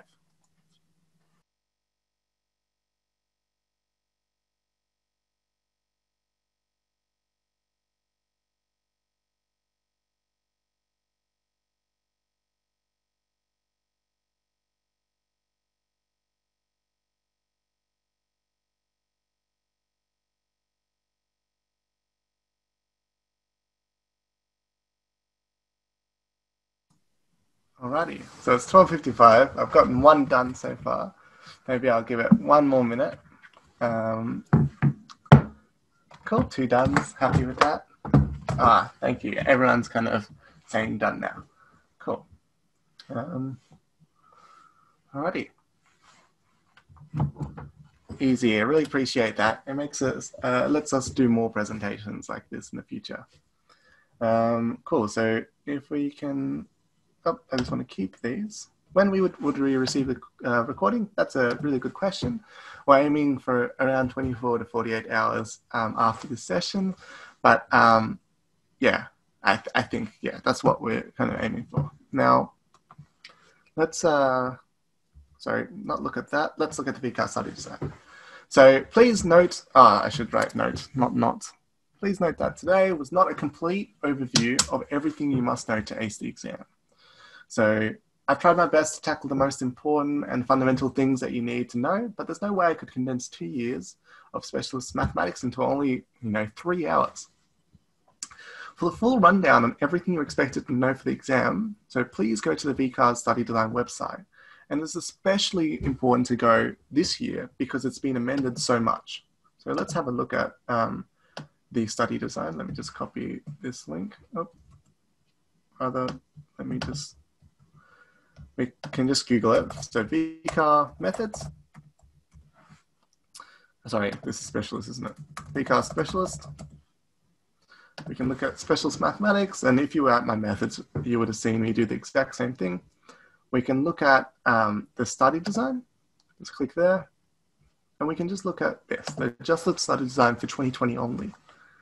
If you scroll down, you can just click on the title that says Specialist Mathematics 34. And we can see that anytime you see a red crossed out section or a yellow section, that means we've got kind of, we've appended, they've appended a lot of things. Um, they've changed something, sorry. Um, so if we look at functions and graphs, that hasn't changed. So know everything about functions and graphs. Algebra hasn't changed either. Calculus hasn't changed. Vectors hasn't changed. Mechanics hasn't changed. But probability and statistics totally out of the course. So this is a very uh, this is a bit different compared to methods where we had some stuff. Um, we still have to know some probability and stuff like that for methods, but it's really really important that I mean look at probability and statistics. It was such a big chunk, but you don't need to know any of that. So um, so don't get confused when you're doing past papers um, that we have like maybe some probability stuff. You don't need to know that that's all I wanted to share with you guys because I just think it's important. I've gotten a lot of questions in um, in my work at ATAR notes and stuff like that regarding what do I need to know for the exam. It's just really important that you just double check what it is. Um, and yeah, uh, cool. So let me just go back to the PowerPoint. Just have this thank you slide yeah, thank you guys so, so much for attending um, the Skyline Exam Revision Series in partnership with UBS. I just want to say a big thank you to Boswell and Jiamin for helping out, as well as um, Andrew and Jane for helping set up this whole thing. Um, yeah, uh, I hope this, I mean, I'm not doing any more um, sessions, but you should please go to the other sessions that are on uh, later today or on Friday. Um, yeah, all right. Um, thank you all for attending. I'll see you guys when I see you. Um, cool. Bye.